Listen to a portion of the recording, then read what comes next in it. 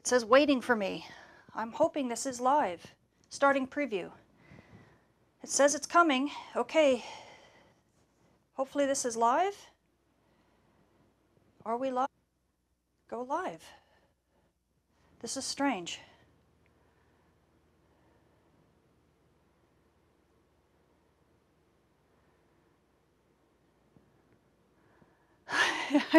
I am having some very strange technical issues right now, and I'm not quite sure if things are connecting or not.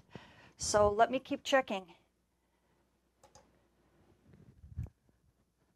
Let's see, it says connecting to YouTube. Let's just do a retry.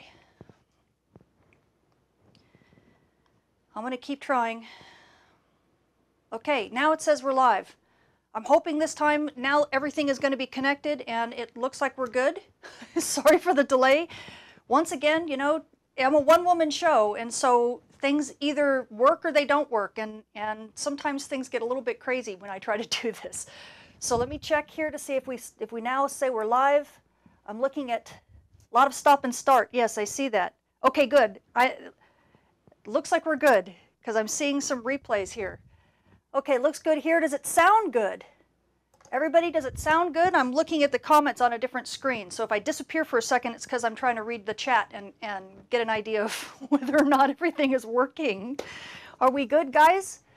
Uh, let's see. It's all good now. Yeah, doing great. Okay, wonderful. I will take that as a yes, and thank goodness. Whew, it's been a very interesting morning. Um, lots of technical issues, but we're here.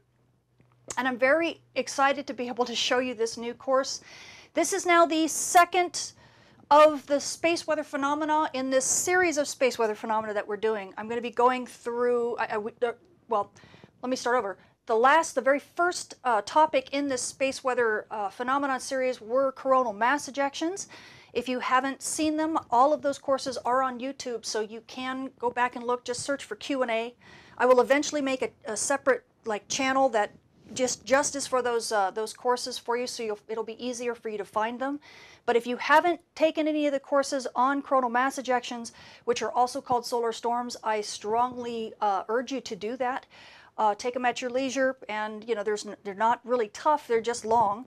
Uh, but they tell you all sorts of things about solar storms, and you're going to need a little bit of that information to, to uh, better absorb what I'm going to talk about today, because you'll see some of that stuff being repeated. Um, but it's not critical. I mean, you don't don't worry. If you don't know what coronal mass ejections are, or you haven't seen my courses on those subjects yet, don't worry too much. It's it's not that big a deal. Um, but please, yes, go back and get them. Now, this is going to be the first of several courses on solar flares. Uh, I had a choice when I was putting this course together. I had a choice to either talk about the phenomena and go into a bunch of eye candy and you know play a bunch of flare movies but i started thinking about it and i said you know that's already been done. I mean everybody does that right? Even nasa's press releases it's just a bunch of eye candy and okay yeah that's great but really this is a space weather for people who use it. You know what it's beautiful to look at this stuff and say uh, it's pretty but what does it mean for my daily life so I decided for this first course to take a slightly different tack, and that's why it says as the sun screams, solar flares and radio bursts. Because really what I'm going to do in this course is I'm going to talk about a little bit about flares and about their dynamics, but not too much. I'm going to jump really into the aspect of flares that really is why the sun is screaming. What make what is it about flares that makes the sun scream at Earth or at any other planet in, in the solar system? And so we'll focus a, a quite a bit on the more actionable, if I can use that term, uh, aspect of solar flares because this is really what people who use space weather and need it for their daily lives, this is the part of the solar flare that really matters to them. So we're going to kind of ground ourselves in that first, and then probably the next course, uh, I'll go into more of the flare dynamics and some of the prettier pictures so that we can put the whole you know, idea together as a big coherent thing because you'll already know about what parts of the flare scream and why and how that evolves over time. And then you'll be able to put it together with the pretty pictures that you see and have a, better, a more intimate understanding of what's going on. So with that, I want to kind of thank all of my patrons. See, let me stand on this side. Sorry, I always get right and left mixed up because it's a it's a mirror in my in my monitor. So I want to thank all of my Patreon supporters. You can see uh, my steering committee, Eric Johansson. Also tomorrow, um, whoops, let me, I guess it's over here. Uh, Jerry Ryan, uh, Lourdes, Greg, Notani, Keith, Michael, John, and Mario. Thank you so much. You guys are on my steering committee. These are the people who are helping steer the ship, and they are helping really help me build, help. They're helping me build the types of courses that we want to see. They're helping me steer what direction we're going to take for space weather broadcasting as I move on to Millersville uh, University and start teaching some of these these concepts to uh, broadcasters, to news broadcasters. And then, of course, all of these people here, uh, my mini course patrons, thank you so much. I, I rely on you for the daily dialogue uh, regarding what course you know, suggestions we, we need to have for, for the mini courses coming up uh, and the types of questions I need to make sure I can answer. Uh, you guys have been just so fantastic and uh, really have helped prod us, prod me along in terms of creating the, you know, each chart and each each uh, bit of content that I show, and really in what order I end up doing it. So thank you so much. You guys are just wonderful supporters. And just to let you know, everybody, uh, all of you, whether you're on Patreon or not, these courses that you're looking at are really the baseline for what is going to be a university level, a graduate certificate program actually, at Millersville University, of which I'm going to be one of like four professors. And I'm going to be teaching at least two courses on space weather. And this material is exactly the material I'm going to be presenting. Uh, things will be changed a bit, you know, as, as I kind of tailor it toward uh, the, the news media and the people that actually are going to be on broadcast TV. But nonetheless, you literally are getting uh, the same kind of content that you would be getting at Millersville. And, and so I appreciate that because you guys are kind of being the guinea pigs. You're letting me develop this stuff as we go on. And uh, if I stumble and trip over myself a few times, well, that just kind of comes with the territory. But nonetheless, I appreciate you guys, all of you, whether you're on Patreon or not, uh, for just you know, sticking with me and, and uh, allowing me to, to find the best way to communicate this kind of stuff to you. Because it's really things, these are really subjects that we can understand. And it doesn't, you don't have to have a PhD in physics to do it. You know, yeah, of course you can, but, you know, you don't have to. And uh, because this weather is becoming so important in our daily lives, um, it's, it's more and more critical that we all learn what space weather is and how it affects us. So with that uh, introduction, I'm going to give you a slight review, and I'll probably stand here in the middle. Uh, basically, there are four types of solar phenomena that affect Earth, and so this is just a little bit of a review to kind of get us, you know, set, uh, kind of get us in the mood, I guess. Uh, and I'll just be talking about one kind today, and that's going to be this, the solar flare. Now, you can see that up here, I believe, if I'm pointing the right way. Yes, okay. So there's the solar flare, and then we'll be talking about this kind of, of phenomena today. But that's not the only thing. This, this is the kind of when the sun screams at us and it causes radio blackouts and, and uh, all sorts of other communications issues mainly. Uh, but there are other things that can be launched along with it, like a coronal mass ejection. Uh, this is the solar storms. This is the topic of the first set of, of uh, space weather phenomena courses I gave. And we went over these in very great detail, all the way from sun to mud, uh, so to speak. And we will be doing the same thing with solar flares because there are Earth impacts that we need to be talking about. Now, both coronal mass ejections or solar storms and solar flares can create radiation storms, which you see here. If I get my thing right, yeah, radiation storms. It's mainly the, the stuff at high and low latitudes, uh, not, not the, the, that big thing in the middle right there. That's actually a solar flare um, effect but the stuff at high and low latitudes, that's radiation storms, and those can be driven by both solar flares and coronal mass ejections, and create they, they create their own unique kind of issue. And so I will be going over them in a different course um, once we get through solar flares. That will be probably the third thing we talk about. And then lastly, we have coronal holes. Now, coronal holes themselves aren't the problem, but coronal holes, uh, yeah, coronal holes actually drive the fast solar wind. And anybody who's been in a boat and drives through a, a, you know, let's say really calm water on a lake, you know that as that boat plows through that water, it's driving waves kind of in front of it. It's making that water move kind of out of its way. And it's the same kind of thing with this with the fast solar wind.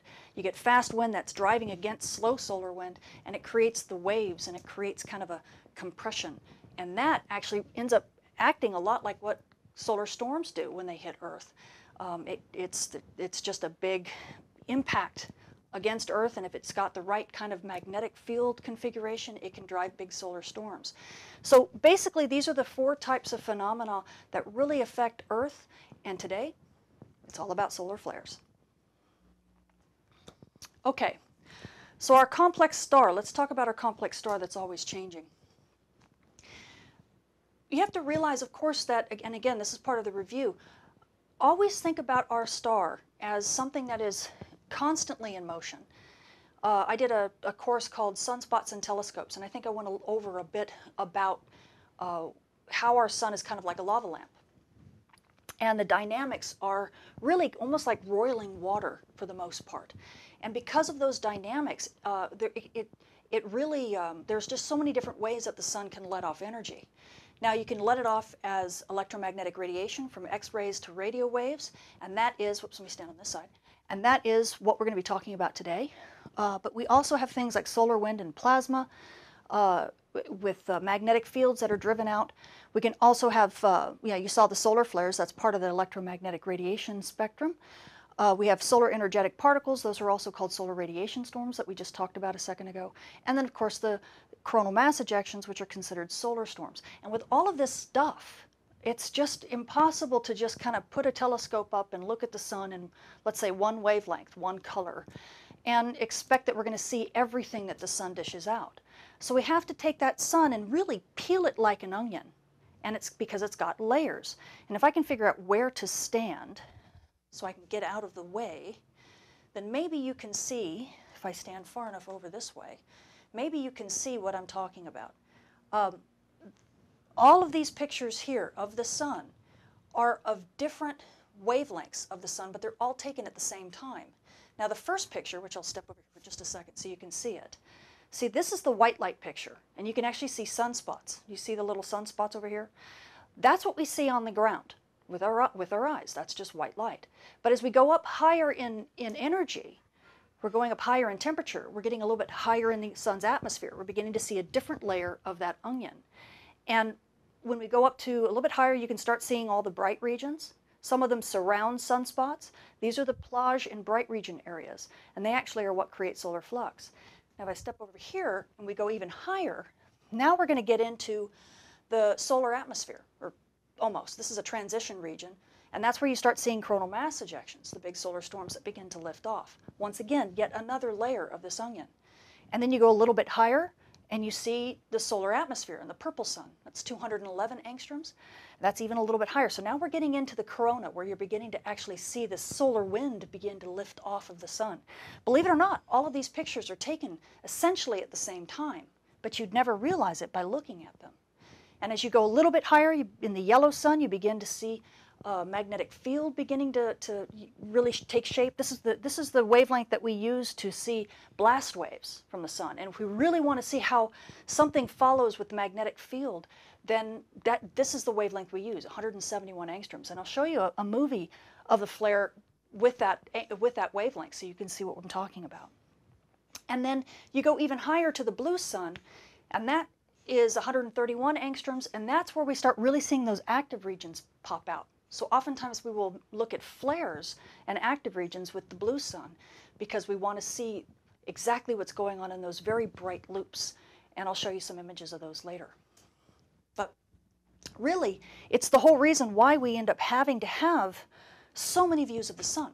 I mean, we just can't we just can't see every layer of the onion, you know, with one telescope or in one wavelength. So that's why we have all these different colors. It's not that scientists really want to, you know, not like we're kaleidoscopic or we just, you know, want to go back to the 60s with all the cool colors and groovy stuff. Although that's pretty cool too. Um, but really, and I know I keep using lava lamp and other analogies, so I'm wearing a bohemian shirt, so I imagine this is, you know, what can I say? Let me switch my mic here. Um, but nonetheless, as, as much of a fan of the 60s as I happen to be, um, it's not why we choose all these colors. We choose these colors so that we can very readily look at them and look at a picture and know, even if it's not labeled, what wavelength it is. And so we know what layer of the onion that we're looking at. And unfortunately, the sun is, I, I wish it were that visible all the time. I mean, that, that every, every layer of the sun were visible. But when we get down into the really internal part of the sun and the radiative zone and stuff, man, we can't see. There's a lot of parts of the sun that are still opaque to us, and so we can't really probe it all that well. And that's part of why we don't know the sun's dynamics more than just what little we know. But here to remind you that some of the phenomena that we're looking at today are going to be very different than, um, uh-oh, hang on. Is my mic screwing up? Let me hear. Hold on, guys. Oh no. Okay. I just saw some weird spikes going on in this in the audio, and I can't hear otherwise. So, I am I'm having trouble with that. Was one of the technical problems I was having today. So, my mic is kind of losing it. I think I've got a short. So I'll I'll slowly check the the chat to see whether or not my mic goes out. But that's one of the things that's kind of running in the back of my mind right now. Is oh God, did my mic go? So if you see me freak out like this a couple times, um, my apologies. Anyway, getting back to the solar phenomena, one of the things I want to make sure that I keep clear uh, for you all is that when we're looking at solar flares, that's one type of, of uh, phenomena that occurs on the sun, but it is not the same as a coronal mass ejection. And today we're going to be talking a lot about coronal mass ejections as well as solar flares because you will see in the standard model of solar flares that they're, I don't want to say inexorably linked, because that will upset quite a few of my colleagues, but they are very often seen together. And unfortunately, that drives a huge issue uh, in the public eye because people have a tendency to say, oh, a solar flare, okay, that's coming toward Earth and that's going to hit Earth and cause aurora. No. The solar flare is when the sun is screaming and that causes communication issues, radio blackouts, GPS dropouts, things like that, but it will not cause aurora. That's the coronal mass ejection that comes days later. So there's a fundamental disconnect, and I have to be very careful. So you'll see me kind of dance around a little bit today, um, simply because I got I've got to make sure that I make enough distinction between the two that we don't try to just connect them together. That's one thing I've really got to fight to make sure doesn't happen. So this is another reason why I'm bringing this chart in, which is about solar phenomena. Let's see if I can stand on the correct side here. Yeah, I'll stand on this side for a second and talk a little bit about the quiet wind. Okay, the quiet, the quiet sun, this is the solar wind. This is when really nothing's happening, kind of like we have now on the sun, near so, so near solar minimum. Uh, you're basically just dealing with fast and slow solar wind streams. And so just like that boat driving through the water, uh, you'll get fast wind slamming into slow wind, and then you'll cause, you know, a wave that then can hit Earth, and then that will actually, you know, act a little bit like a solar storm, and, or can be a solar storm and, um, and cause disturbances for us. Sometimes they can be strong enough that they even drive shock waves in space uh, right around where Earth is. And, um, you know, and, and it, can, it can be pretty, pretty serious, but right about now it's not too much. We're, we're getting pretty weak solar storm or solar, solar wind streams. But that's pretty much all there is for a, a quiet sun. Now for an active sun, we have solar flares and coronal mass ejections. And again, I am going to spell this out because it's very important. Solar flares, which we're going to talk about more today, release X-rays and all sorts of types of radio bursts, right? Microwave energy, we're going to go into all that. We, they release solar energetic particles. Uh, they're mainly protons and electrons. They, they travel, and all this stuff travels nearly at the speed of light or at the speed of light. Now, the radio bursts that we're going to talk about today, they're all at the speed of light, right? So they take eight minutes to get to Earth. So as soon as it happens on the sun, eight minutes later, we're seeing it. So basically the same time we see it with, a, with you know, our telescopes, we're hearing it screaming because it's screaming in electromagnetic light that also travels at the speed of light. It's the same kind of light we see with our eyes, it's just a different frequency. Now, coronal mass ejections, on the other hand, these are massive amounts of solar plasma with enhanced magnetic fields, and they drive strong shock waves in space, but they're not moving anything close to the speed of light. Okay, they're only going about 15,000 kilometers a second, which I know is still fast, but they take days to get to Earth typically. I think the fastest one was 17 hours, and it was like over 3,000 kilometers a second. And these cause the geomagnetic storms. These are the ones that cause the aurora. These are the ones that disrupt the, the Earth's night side for days upon days upon days. These are the ones that, that can cause real long lasting damage. They cause the, the geomagnetic geomagnetically induced currents that upset the power grids. Power companies don't really care about solar flares. They couldn't care. Satellite operators, however, they care about solar flares as much as they care about geomagnetic storms, sometimes maybe more, depending upon what orbit they're in. So, you know, we have to keep them separate because if we lump them all together, we're going to confuse a lot of people. And that's something I continue to fight to this day. So let me play. Oh, it, do I not have it? Oh, there we go. Here's a solar flare for you. Are you going to play? Here we go. And wait for it. there it is. That's a beautiful, that's, that's an X-class solar flare and you're seeing it in uh, 131 ang angstroms. So it, you see a lot of the, the, um, the gorgeous X-ray, well, in this case it's just uh, extreme ultraviolet, but you see where the loops are and you see just the, the strong intensity of it. Now, if I go here and play a coronal mass ejection, this is different. So there's the surface of the sun. You can see that big coronal loop coming, or that loop coming out like that. That continues to be ejected out into space. And if you look at the other side of the picture, once it uh, moves again, there you go, you'll see it coming out into space. Now we're looking at a coronagraph view of it. And as that big massive thing, see how slow it's moving? That massive thing moves out into space like that, it maintains that shape. And I'll stop the movie so you can see that there.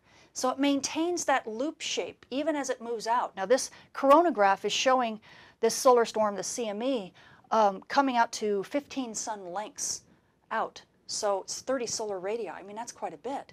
So it tells you how massive these things are. This is, this is huge. By the time it reaches Earth, it's a, it, it can be as wide as a quarter of the distance from the sun to the Earth.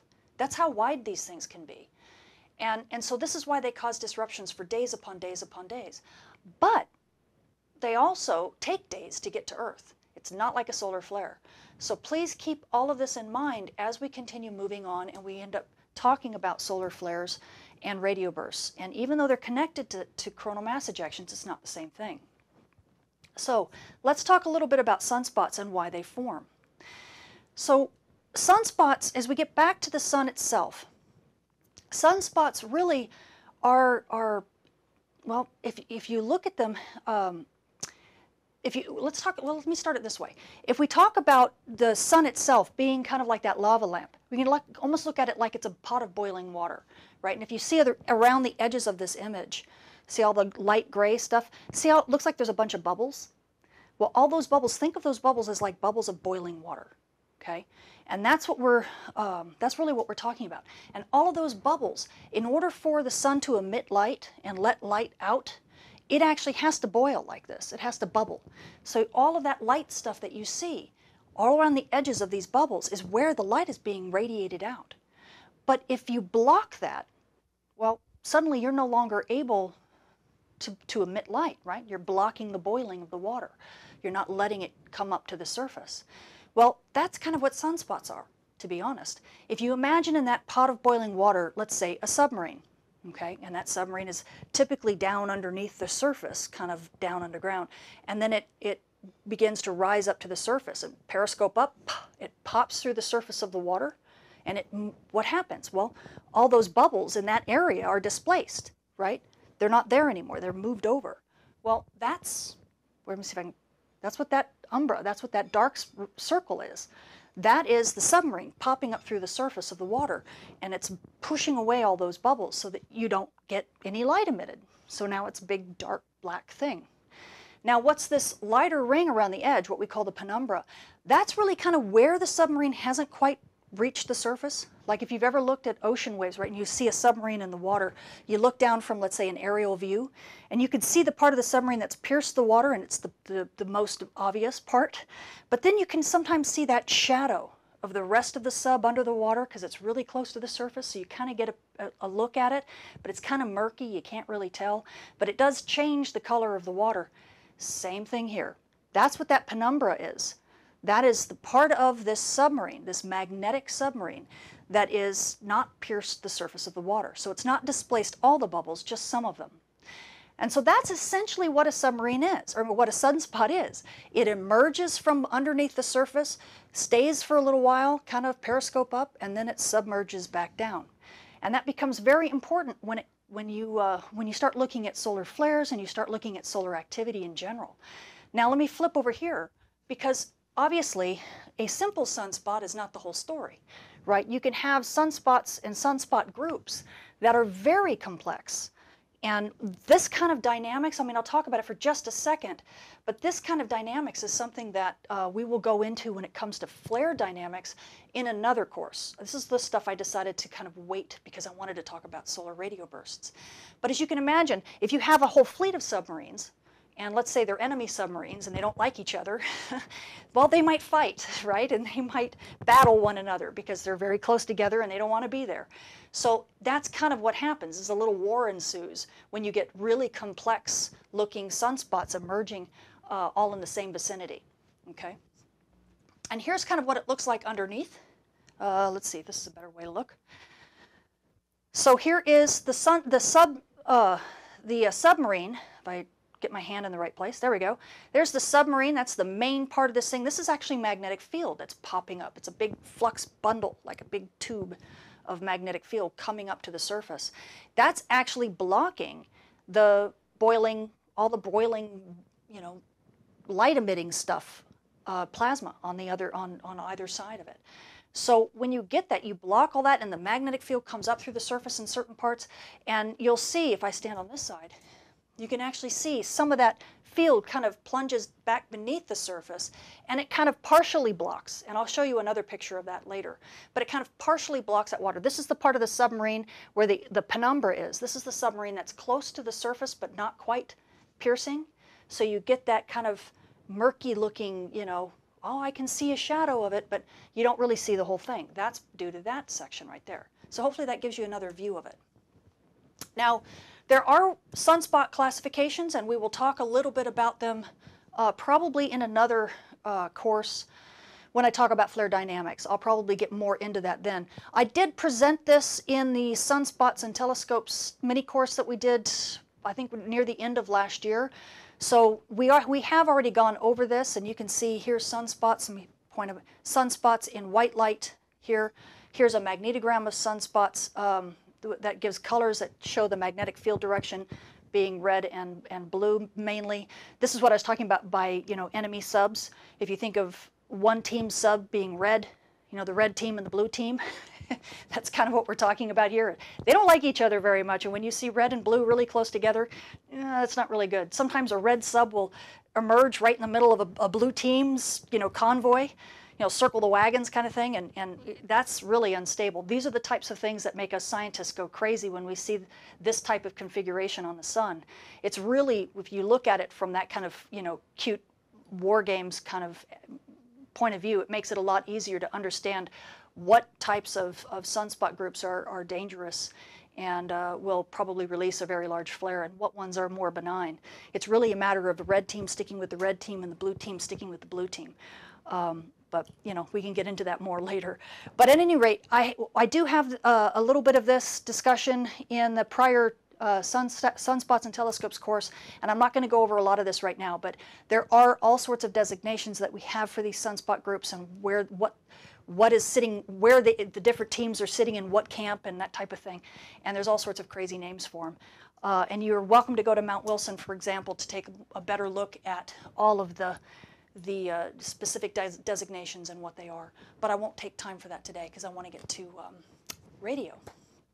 So, how does it work with radio? I'm talking a lot about visible sunspots and magnetic fields and stuff, but what does that have to do with radio noise? Well, here we go. Sunspots, yes, they are dark, and I get this question all the time. And you know what? Let me let me pause before I go into this. Let me pause and see what you guys are talking about on on the chat. Does anybody have any questions for me right now? Um, let's see. Sunspots are darker not due to difference in temperature, but because the light can't escape. Yes, that is right. Uh, that's exactly right. I don't care for your submarine analogy. That's confusing. Well, that's too bad, but you'll see, you'll see one of the reasons why I'm using that analogy as time goes on. Um, okay, so yes, I am checking. Good. So everybody's doing well. Okay.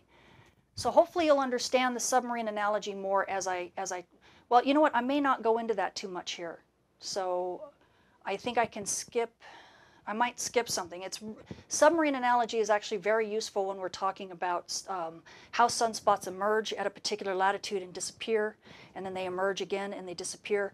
That's the thing about sunspots is a lot of people think that sunspots are rigid and they just stay on the sun and then just decay. They don't. They actually emerge because they're magnetically buoyant. They, that, and, and there really is rising and falling, just like a lava lamp, like I told you. And so there's a reason why we talk, why I talk submarine, because it does actually rise up. They stay around for a little while, and then they, they dive back down underneath the surface, and they don't stay. But that doesn't mean the magnetic field that's driving them is is not, you know, disappears. And that's I'll get into that a little bit here because you're going to have to see a bit more about that as I talk about flares. Um, but hopefully, you know, if you can think of a better analogy, let me know. Anyway, okay, so getting back, getting to sunspots, why, why they're dark, but wh how can they possibly be radio loud? Well, anyone who is an amateur radio operator or knows frequencies of radio noise understands that, you know, there are different bands to electromagnetic radiation, right? We see in one particular band, but there are a lot of other bands that we don't see in. And that's exactly the thing about sunspots, is that they actually are dark to our eyes, but that doesn't mean they're quiet, not, not at all. In fact, if we look at, let's see if I can stand on the correct side here, this side. So here is a white light image of, of the sun, and you can see a couple sunspots groups in there. Now, overlaid on that is a plot of the solar flux. Now, amateur radio operators need that quite a bit to be able to do uh, radio propagation. And oftentimes they will look at the sun's solar flux and, and the number of sunspots to know what the solar flux is going to be. But the question I always get is, well, why are we looking at dark sunspots for solar flux? It doesn't it seem kind of silly? How could something so dark provide us with solar flux? Well, they actually don't, but the plage around them does, and that's what ends up being more important. But in this particular case, there's something even more important about why sunspots are are also sources of, of electromagnetic light, and that's because in a different frequency, they're very loud, even though they're visibly dark. So in solar flux, you can actually watch in this one plot as the, the um, instrument gun it scans over the sunspot group, you can watch that flux drop dramatically, boom, and then it comes back up after they pass over that sunspot. So yes, in solar flux, sunspots are dark. There's no doubt. In the visible eye, sunspots are dark. But if you look at the sun from the radio telescope, this is the VLA radio telescope at 14 gigahertz. So this is quite high, right? Microwave. And you can suddenly see, look how look at all those active regions. Look how much they pop out. Those are all sunspots. And they're incredibly loud in radio noise. But here's the trick. And this is why magnetic why, why those magnetic submarines are so important and why I keep harping on the magnetic field if you take a look at this last figure here, this is the TRACE uh, satellite, or spacecraft rather. And what it's looking at is the edge of the sun. So it's looking at the limb of the sun, kind of off to the side, right? And you can see this, let's see if I can point to it, this kind of gray, the dark, dark gray, yeah, that right there, that black, blackish gray, that is the edge of a sunspot just before it disappears off the, off the side of the sun, off the back of the sun's, or onto the sun's backside. So you can barely see the edge of that sunspot. But look just above it, out in the solar atmosphere, just above the sunspot, that is the contour of where they're getting 8, what is it, 8 gigahertz radio noise. That's the source of the noise.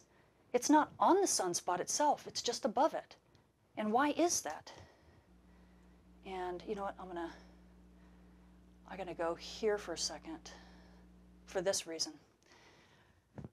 See, this is one of the reasons why I teach these courses here, and you guys have to deal with me, because I just realized I wanted to do this. So I got to reorder my, my slides a little bit. Why was that radio noise like that? The main reason is because we're dealing with, uh, when we see a sunspot, it's only part of the story. This is the visible effect that's caused by this magnetic submarine.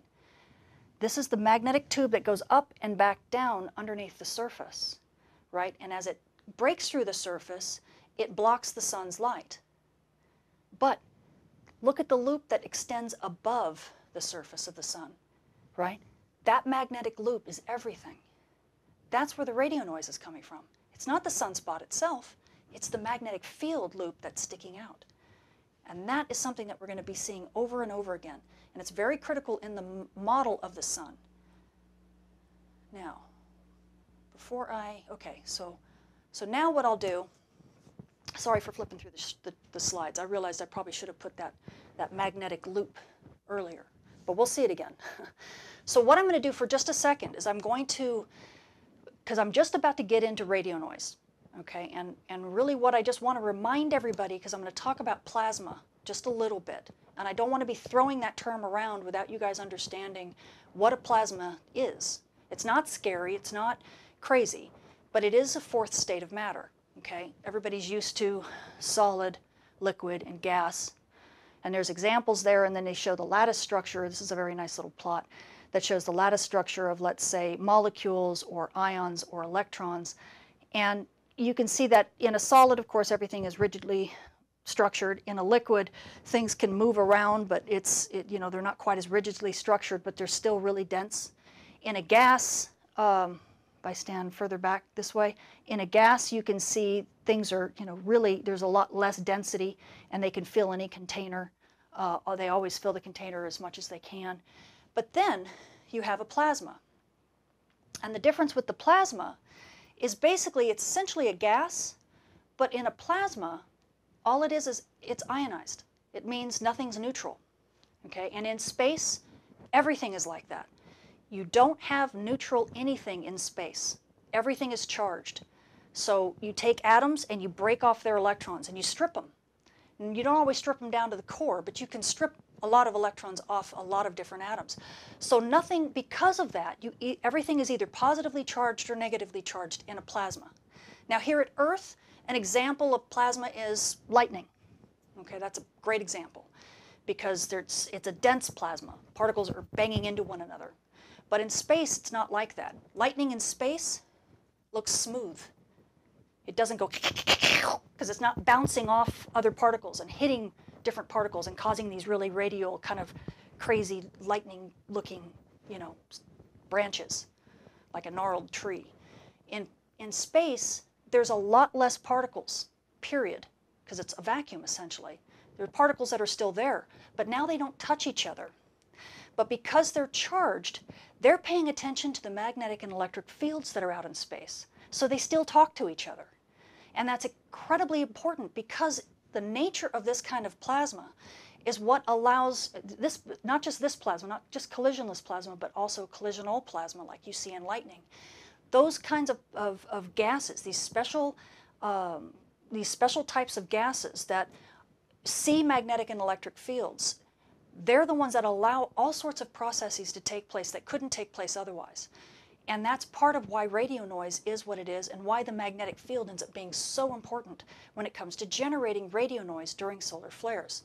So I just wanted to make sure that you understood that what we are talking about in these cases is either a, a plasma that is collisional, like really when we're like deep in the sun, uh, that's that's part of the collisional plasma. There's the, the plasma actually these these particles actually do hit each other. Electrons and, and protons actually do either hit each other or come close to hitting each other they feel each other's effect, or we're collisionless and they're interacting solely by the electric and magnetic fields that are all around them. And if you think of it from a collisionless point of view, if you think of it as if these particles were connected by a spider web, okay, you could have a spider web and you could have a, a, a particle, let's say a, a proton or an electron, on one edge of the spider web and another one on the other edge. And yeah, they're not going to touch each other, right? There's no way they can. But if you shake the web over here, it's going to make this one wiggle on this side. And those, that spider web, that is the electric and magnetic fields that are connecting these particles together. And it allows for a behavior, believe it or not, that's to a great degree similar to what you would expect if they actually were touching each other, because they are still communicating. But this is the real, this is the magic about what makes space and space physics and some of radio astronomy so amazing is because it's it combines both things that we understand and and forces that we understand and then forces that are a lot harder to see and a lot harder to predict. So it's it I just wanted you to keep in mind that that's what a plasma is. It shouldn't be anything scary to you, but it should kind of be distinct in your mind from just a gas because now you have to deal with this spider web. You've introduced this spider web that then controls kind of how things happen. And it's not just a bunch of billiard balls banging into one another because that's not that's that's the way it works in neutral gases, but it's not how it works in plasmas. So let me see if anybody asks any questions here. Um, oh, thank you. Oh yes, she's see-through. Uh-oh. Is there I have plasma eyes? Oh shoot, did it did it do that? Okay. Am I am I losing my eyes again? I have blue eyes and it's a green screen. Oh yeah, I see that. Yuck. I wonder if I can bring the lights closer. Sometimes the lighting changes. Let me see if this helps.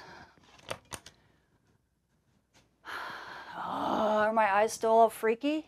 Oh, they're a little bit better, I think. Are they a little bit better or am I all freaked out? Sorry, guys. I don't mean to be like a. Um, I can't pay attention to her. The phenomena is such a semantic distraction. She's so amazing. Oh gosh, what am I? Or you're fading. Marty McFly and someone needs to restore your timeline. Oh gosh. It's that bad, huh? Okay, let me see if I can fix this, guys. So you might see me disappear for a second while I, um, while I, so what you're going to see is me disappear and you're just going to see this background for a minute. And I'm going to adjust, yeah, I see my eyes are all nasty. I'm going to adjust the green screen for just a second and see if I can do this. But I have to take myself off of the program in order to do that. So if you see me disappear, don't worry, you're still going to hear me. I think you'll still hear me. And I'm just adjusting the green screen so I don't look so ghosty. Because, um, yeah, it freaks me out too when I see that. So thanks for letting me know. So let's see. Okay.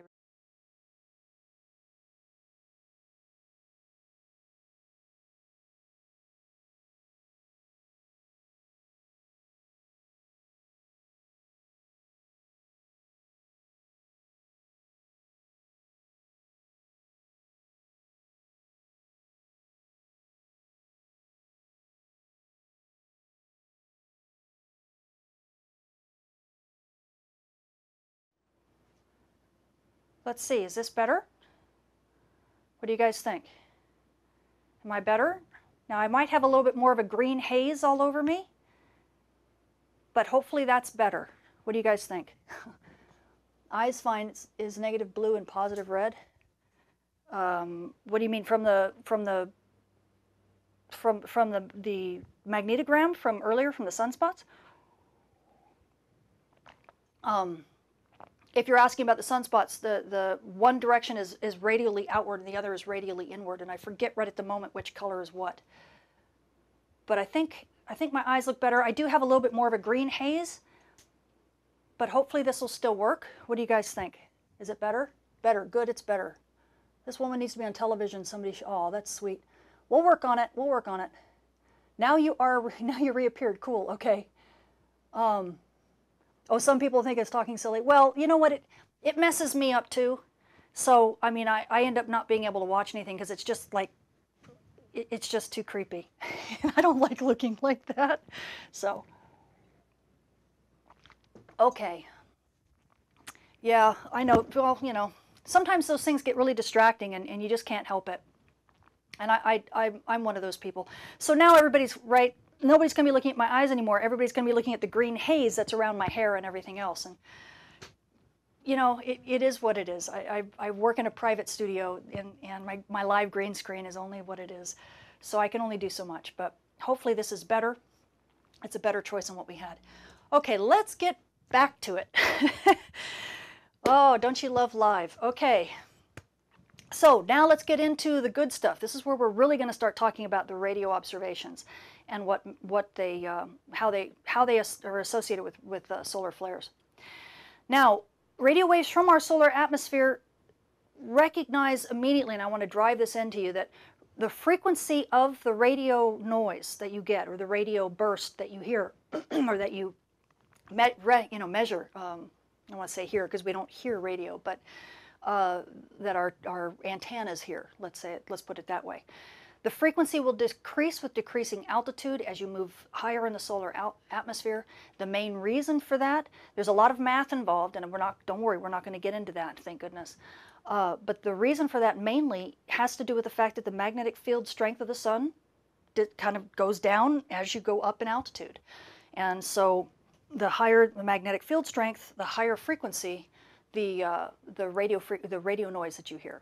So you'll start noticing that, that the highest energy stuff will be really close to the sun, and the lower energy stuff as you move out drops in frequency. So you get lower energy radio waves as you move out. And that actually goes pretty much all the way out to Earth. It's very interesting when you, when you look at the dynamics here. Um, so what that, what's neat about that is that you're able to use, let's see, I guess I can stand on this side. You're able to use that to kind of sound the different frequencies of radio noise coming off the sun and also the different layers of the atmosphere of the sun. Very similar to what we did with, uh, with uh, extreme ultraviolet, with SDO. Remember the colors, all the different colors of the sun? We were peeling the sun like an onion.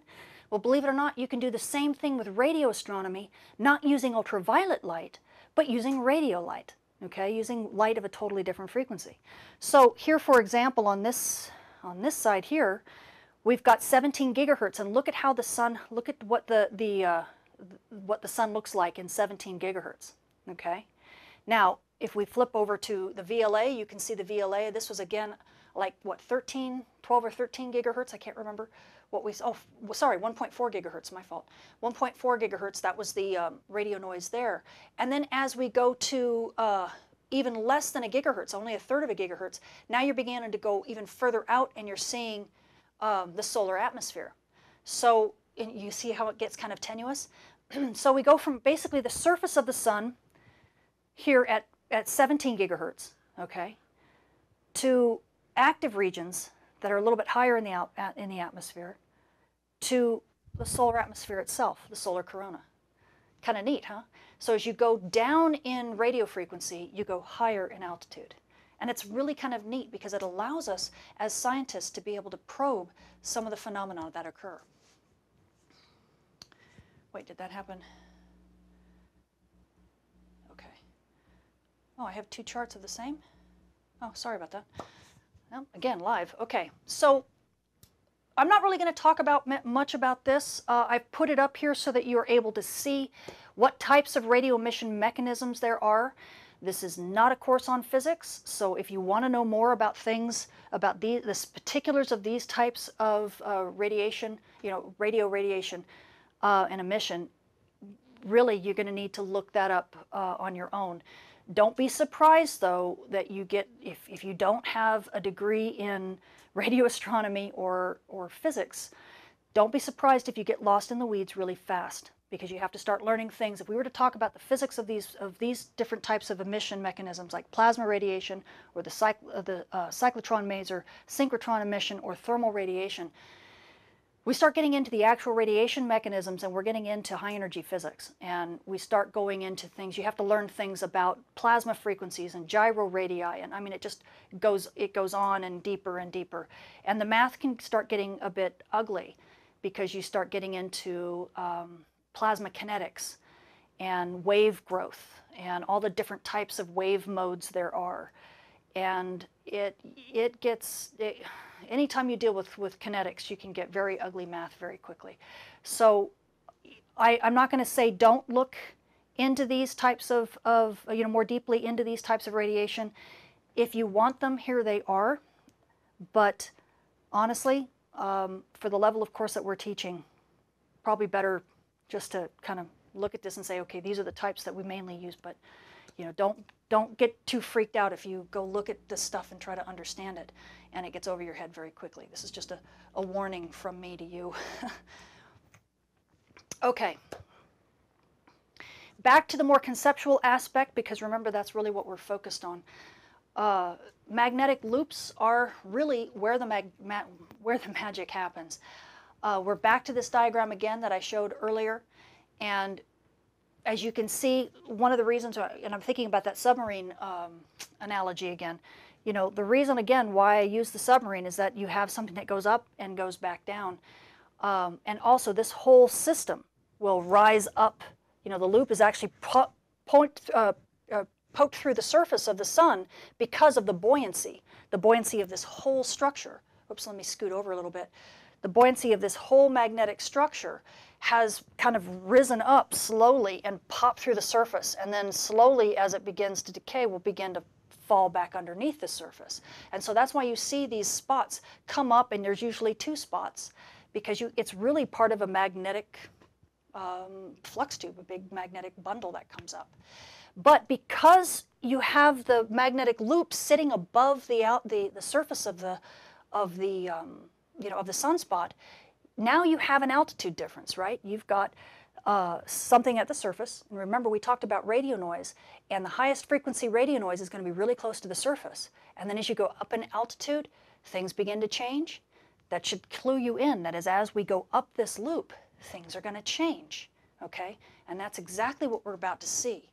But again, to remind you, um, it's the magnetic loop continues below the surface I mean, the, you know, this flux tube continues below the surface, and it's all connected into the solar dynamo and the magnetic field that actually drives the sun. All of these little sunspots are just manifestations of a much larger system that really is connected to the solar dynamo.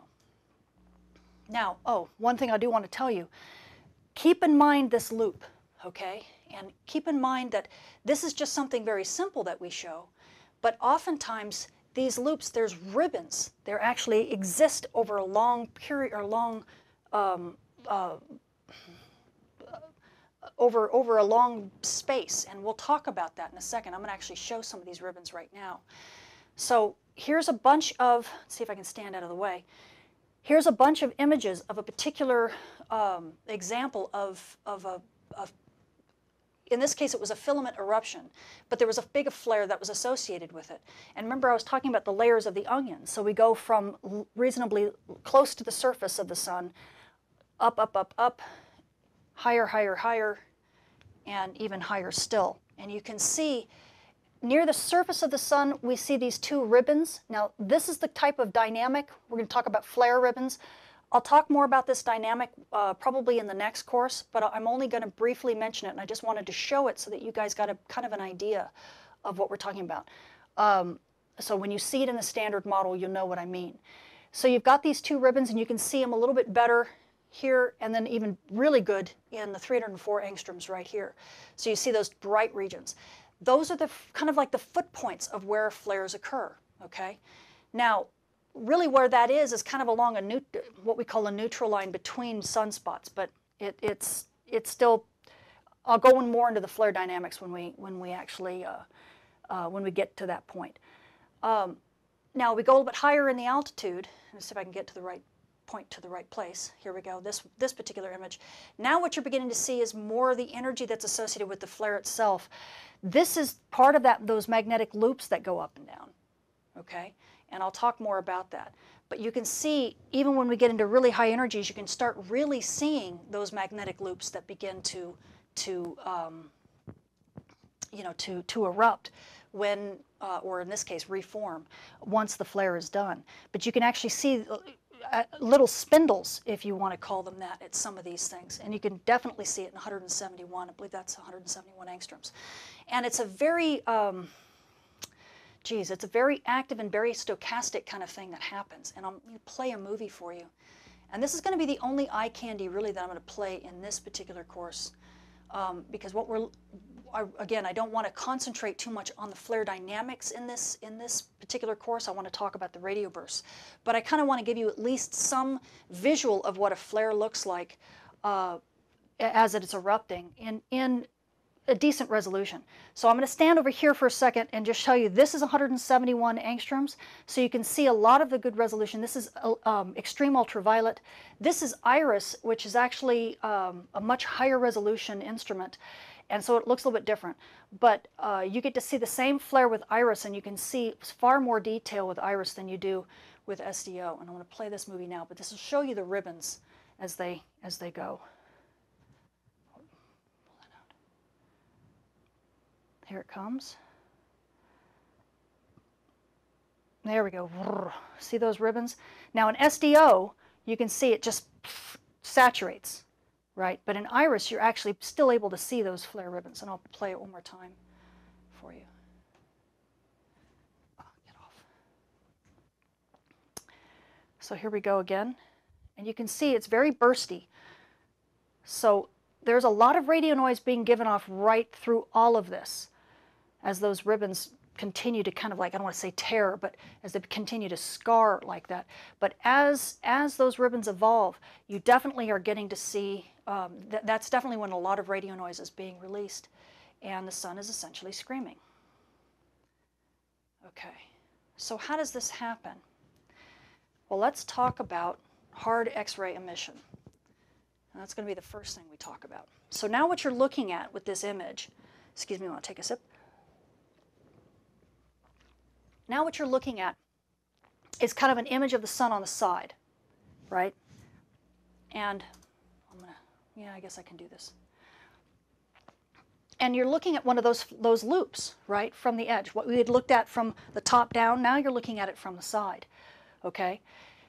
And really, that's that kind of like mag, the same as that magnetic loop that I showed you with the sunspot kind of going like that. That magnetic loop staying up at the, at the top of, you know, at, let me say, this, the magnetic loop that connects these two, it's up at the top and it's, high, it's higher in altitude than being at the surface. And so up at the top of this thing, you can imagine that if you have particles, you have plasma that's up here, that's traveling from the top to the bottom, right? You could actually have that cause some X-ray emission or cause some, some type of radio noise. Just the traveling of, of, uh, of particles here, and in this case we're going to do an electron beam, traveling from the, from the top of this loop down to the bottom, okay? Just because of the, the, the in the eruption itself, plasma is always going to be moving, but it's going to travel along the magnetic field because it has to obey the magnetic field. That's the thing with plasma. Again, different from a neutral gas. It, the magnetic field, to some degree, jails these particles. So as they travel, in this case, from the top of the loop down to the foot point, and I'll put this down here, can you see that? Going down to the foot point of the, of the thing. That's where you actually get hard X-ray emission.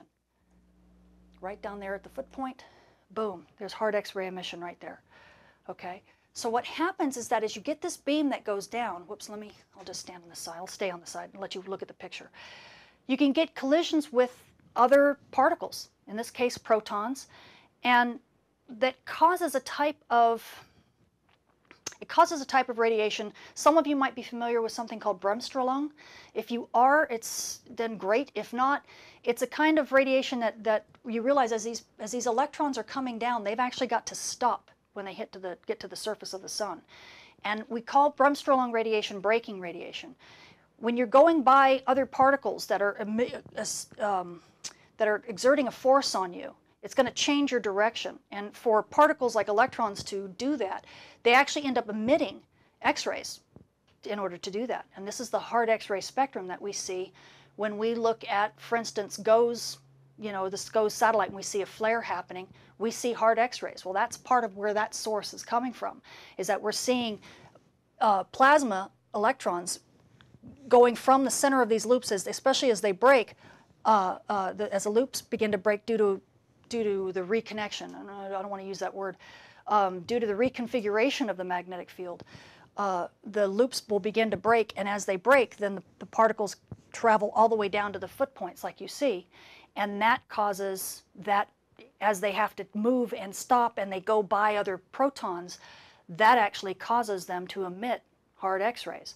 And so that's where you get these big hard X-ray um, contours, you get these hard X-ray, what they call sources, right there at the foot points, right where you see that. I'll see if I can point to it. Over here, over here, up, up, up. That, right there. That right at that point is where you see the hard X-ray sources mainly, but it's due to these electrons that are being shot down these magnetic field lines and down this plasma um, due to this big flare that's occurring. But again, at the surface of the sun, that's where you're going to get the highest energy stuff, and that's why you see X-rays there.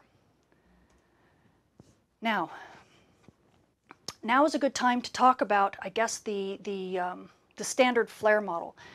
And again, because this is a new course and this is, I probably should have had maybe one or two other plots to, to kind of ease you into this. um, but I'll do my best. For those of you who are familiar with the CME courses that we took, this diagram should be pretty familiar. Actually, this one will be even more familiar to you.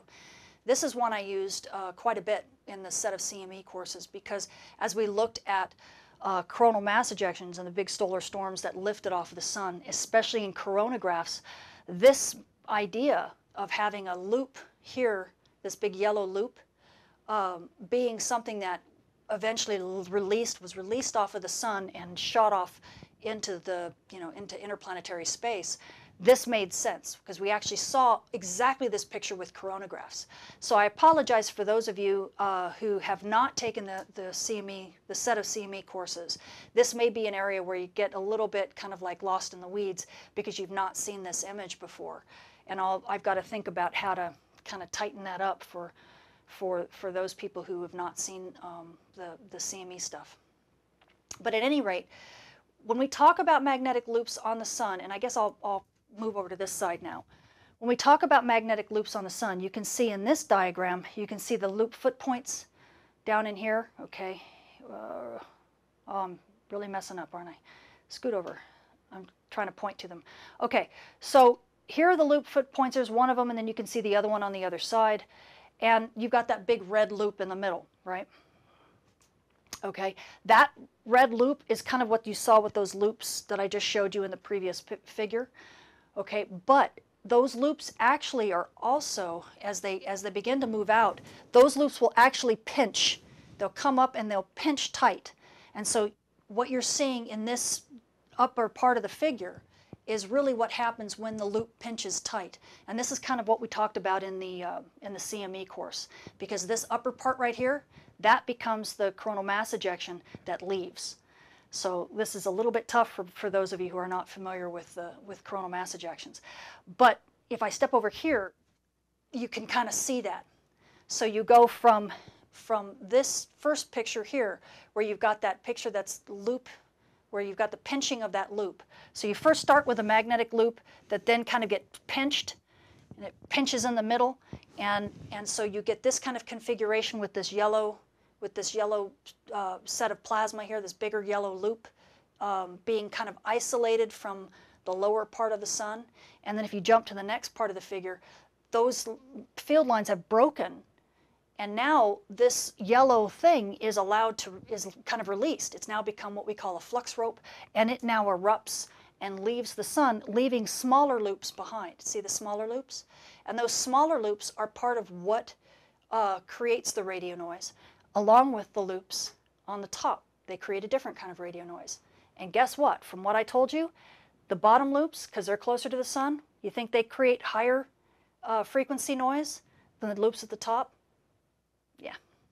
So here is where you get all your X-ray, hard X-ray, soft X-ray, and microwave radiation. It's mostly from this region in here.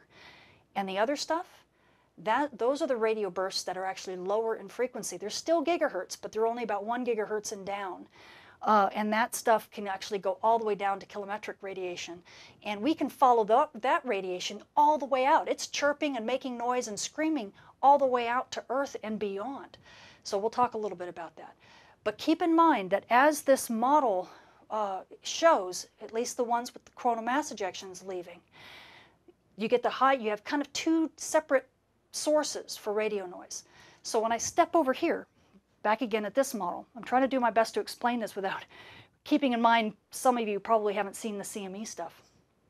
Um, we've got the loops down here, and you can see all the circles that we've got. These are the circles where, where people are looking for uh, X, a lot of X-ray noise. Uh, but you've got you've got the a loop, you've got X, hard X-ray noise going to be at the loop foot points. You're going to be uh, in this hot flare loop is where you get soft X-ray emission. Just above it where you see that arrow, yeah, right there, that is where you get a lot of microwave emission. And then as you go further up, you get emission that's what we're going to go into is like type 1 through, or it's actually in this case type 3 and sometimes type 2 radiation and we'll talk a little bit about it. But a lot of this has to do with whether or not you're in the top part of the loop that's going this way or you're in the bottom part of the loop that's zipping back down to the sun.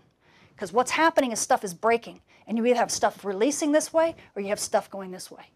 And that means you have electron and proton beams going out and electron and proton beams going in, okay, meaning up or down. And as they go down, you get higher frequency radio noise. As they go up, you get lower frequency radio noise. But there's two separate things happening. Pretty cool, huh?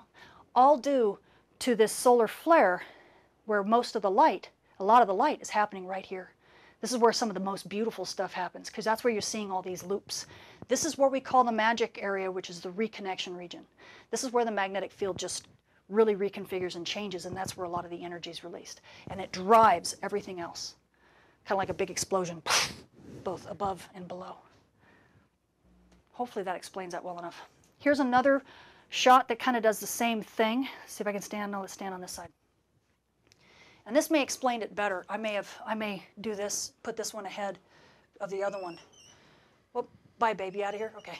Um, so actually, no, I have to stand here. I can't clear myself, can I? Okay, so if we, we talk about the top here, this is where that magnetic, what was a single magnetic loop, it now is beginning to pinch in. See how it pinches in? And as it pinches in like that, you start seeing, um, you start seeing that, that region right in the middle where it's going to start what we so called reconnecting, okay?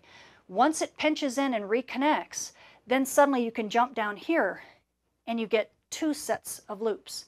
You get the loops that are reforming back at, at, the surface of the sun. This is what we get when we see those bright ribbons and what's left over of those ribbons. And I'll talk again about more about flare dynamics uh, in probably the next course, and we'll talk far more about what are called post um, post eruptive arcades, and that's kind of what you're seeing here. That's what these low loops are.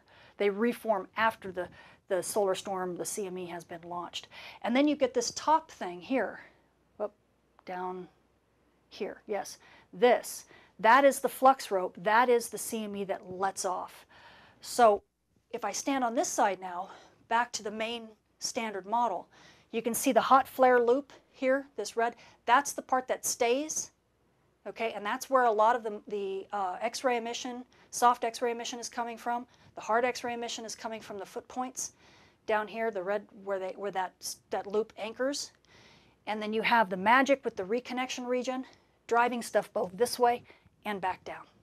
Okay, so let me try to show a little bit about that with real observations instead of just cartoons.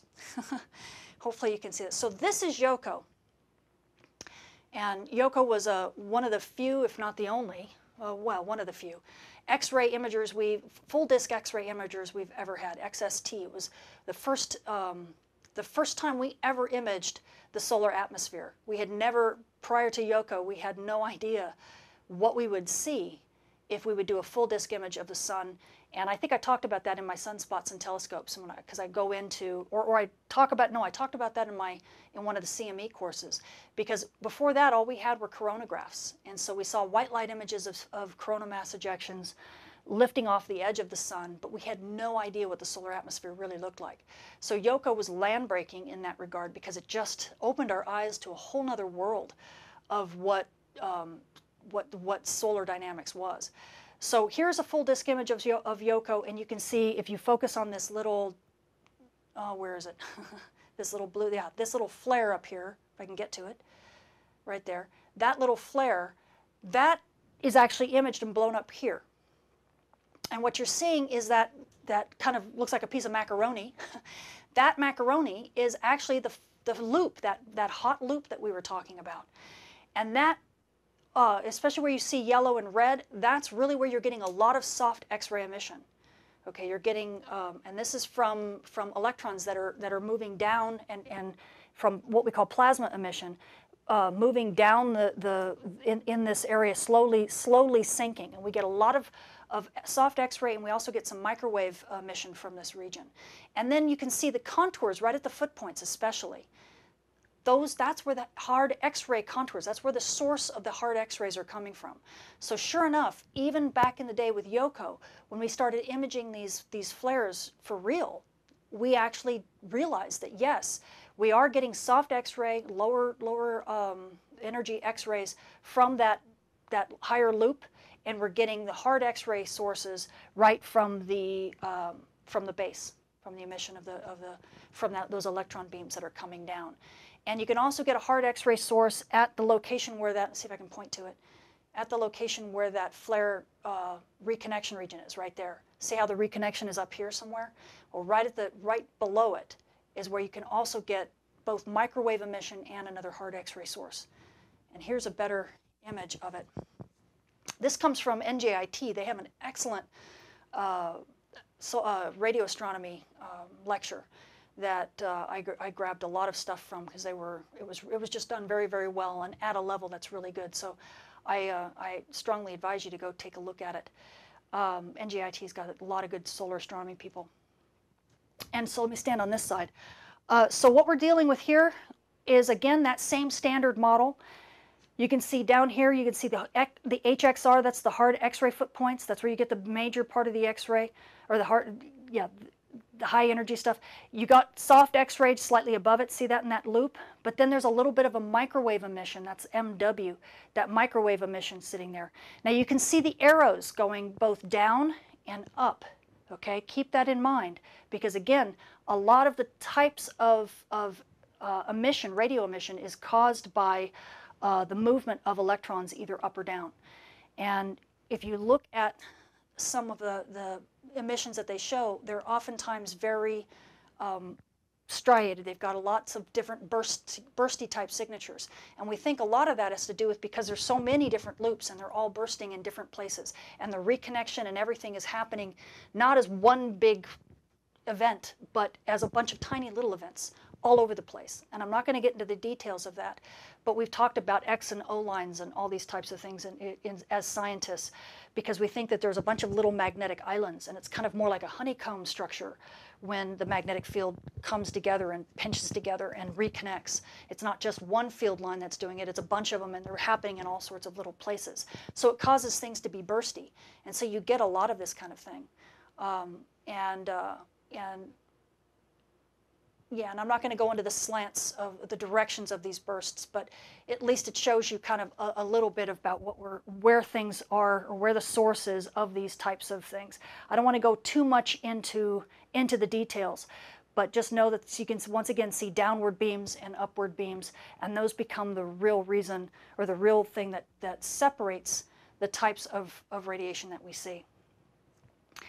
Uh, again, here's another example I guess I can stand maybe in the middle. Another example of uh, looking at how the, in, the frequency of radio emission really depends upon um, the altitude that you're at. And in this case, it's uh, this is microwave emission. So we're looking, let's see, which way do I point? No, yes, this way, okay. So we're looking here at, uh, they, they talked about the the foot point and the top, that's what the F and the T stand for. But if you look at the frequencies that they've measured, when they look at this loop, this, this, uh, this is an H alpha image of a loop that's coming up, you can see it's 9 to 14 gigahertz, really close to the surface of the sun. But as you move outward, it drops. Okay? And clear up at the top of this thing, you're only getting 1 gigahertz. But all of this radio emission is happening all at the same time. So the sun, believe it or not, is screaming at tons of different frequencies. And you know, granted, the, the loudness of the scream all definitely depends, and the length of time that the sun is screaming definitely depends upon what frequency you're looking at.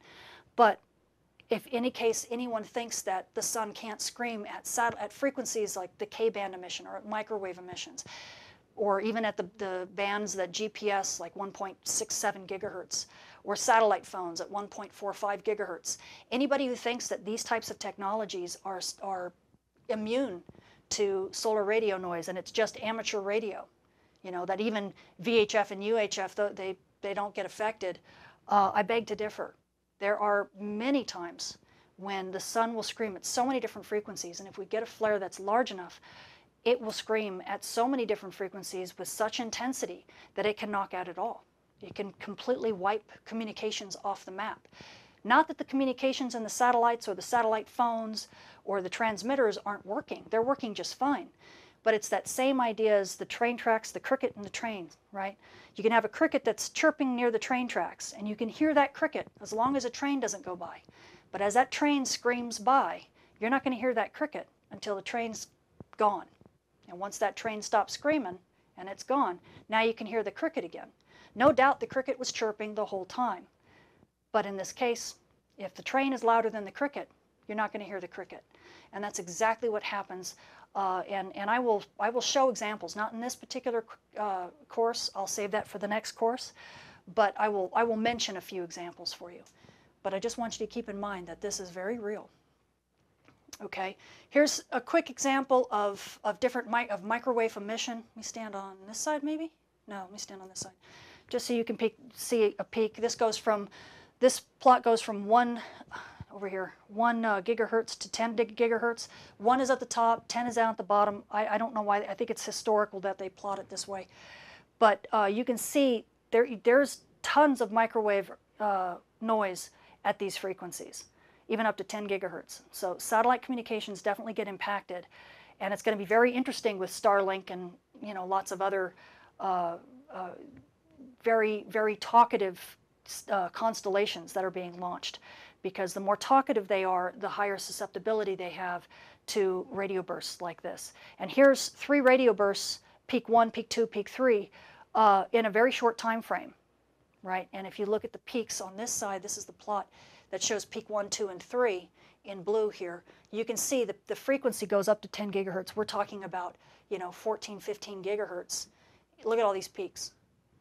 So you're getting peaks in these communications, so it's bursty, right? You're not necessarily always getting something all the time, but it's going to be happening enough with big solar flares. It's going to be happening frequently enough that you can uh, really start messing up uh, your communications. Here's more examples of microwave emissions. I probably won't go into it uh, in too great a detail, other than to say it's all over the map. The types of flares that we have, you can see in, in, in these scales, hopefully you can read them. They go up to 18, is this 18 gigahertz in this one? Yeah, 18 gigahertz from basically 1.2 to 18 gigahertz. So, and you can see the types of shapes. Everywhere you see white or a light gray, this is a emission. And there is no one size fits all.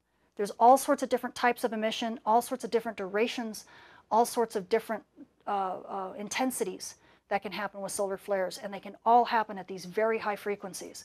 And they can be very broadband. So in this case, you've got one gigahertz all the way up to uh, 18 gigahertz. And that's satellite, that's satellite phone, that's GPS. Um, and that's, and, and all of that is uh, radio noise that is all coming from the, the stuff, the, the part of the flare that stays, right? We're not now talking necessarily about the flare, the part of the flare that, that uh, helps to launch a coronal mass ejection up and off. That's the stuff we're about to talk about now. The stuff that's up at the, uh, that stays close to the sun, that's where all that really high frequency noise comes from. Now we're going to talk about the types, what are classically called the types of radio bursts. I'm sure you've heard scientists say from time to time, uh, oh, there's a type 3 burst, then that means that coronal mass ejection has been launched. We now have a solar storm coming to Earth. Or there's a type 2. Yeah, that's, that, that's another, that's coronal mass ejection. We know it's coming. True, because really, if there weren't a coronal mass ejection being launched, there'd be nothing leaving that solar atmosphere to give you those low frequencies. Everything would be high frequency emission. So that's one of the cool things about radio astronomy too, is that if you only have really high frequency emission and you don't have these lower frequency radio bursts that go from gigahertz on down, um, you're you probably don't have a solar storm coming at you. So uh, now, granted, there are problems with being able to hear it. There are problems, you know, you have to be able to be in the right place at the right time and have a radio telescope aimed at the right place to be able to get to it. But nonetheless, if there is a solar, a solar, storm being launched, you're going to get these types of radio bursts. And there's a whole bunch of names. There's type 1, type 2, type 3, type 4, and type 5. And there are also subclasses. Whoops, let me stand on this side. So you can see type 1, type 2, type 3, type 4, and type 5. There are subclasses of, of these types, so some of them are, are stationary and some are moving. I'm not going to go through this in great detail. I will highlight, however, type 2 and type 3 are the types that most commonly associated with solar storms coming towards Earth. And when you get type 2 and type 3, you will continue to get noise all the way out until that solar storm hits Earth. And again, that will be something I'll go more into in the next course as I talk more about flare dynamics. We'll talk more about these particular types and really what they're associated with. But you can hopefully read a little bit of it here Uh, I just have this up pretty much for reference right now. But what really gets interesting is when we talk about this and how, how interesting it looks different on your screen than it does on mine. The type 4, this big red bubble, it's not supposed to be striated. It's just supposed to be red. So if you see it striated, like it's got a red, brown, red, brown look to it, which I see on my screen here, I don't know. It's not supposed to be that way. so sorry about that. So anyway, um, let me, so let me get over here for just a second, see if I can get out of the way enough. I need to give myself more room on these charts for me to stand. I'm too big. I, I need to make them smaller or something because I'm blocking too much. So what I've done with this particular chart, and I'll keep jumping from side to side to help, what I've done is I've tried to kind of like uh, boil down that last chart to really what are the actionable sides of or aspects of the, the different types of radio bursts. So you have, in this case, you have the microwave bursts up at the top. Those are broadband. They're about 500 megahertz to many gigahertz, as we saw, up to 18 gigahertz and beyond. Um, and this that's wreaks havoc with satellite communications typically, but can wreak havoc with, with ground um, communications as well, and especially in the broadcast um, arena. But then we go down into the other types. So these are what we call type, you know, the, the typical type 1 to type 5 uh, radio bursts. These are typically bursty ones, and they're either narrow band or broadband, depending upon um, depending upon which type they are. And again, it's the type 2 and type 3 that are associated with um, coronal mass ejections with the solar storms. And I guess I could walk, walk you through them, but what I'll do in actuality is now I'll stand on this side and I will talk about this chart a little bit. So what you're seeing here is a plot that should kind of summarize really where these, where these bursts lie. And what you're looking at is the time since a, since a flare happened. So, you know, basically at time zero, that's when the flare lights up, okay? And that's where you're going to get all that hard, all that really high energy stuff. It's all going to happen, well, not all of it, but a lot of it, it's going to start then. But then there's going to be stuff that will continue on out. As a matter of fact, this one only goes 90 minutes, uh, so an hour and a half after the flare occurs. But believe it or not, the mission continues way beyond 90 minutes, uh, continues all the way out till the, the the solar storm, if there's one launched, uh, hits Earth. But this is kind of like the early part, you know, of, of let's say a, a big eruptive event on the sun. Um, and it gives you an idea. So it gives you the timing, you know, how long something lasts and when it starts. Because if you notice, not everything starts right when the flare hits. Some of it starts a little bit later. But it also gives you the frequency, right? So up on this, on the vertical axis is frequency. And we're talking in megahertz. So we're talking here, in this case, 10 megahertz up to 3000, so that's 3 gigahertz. Okay.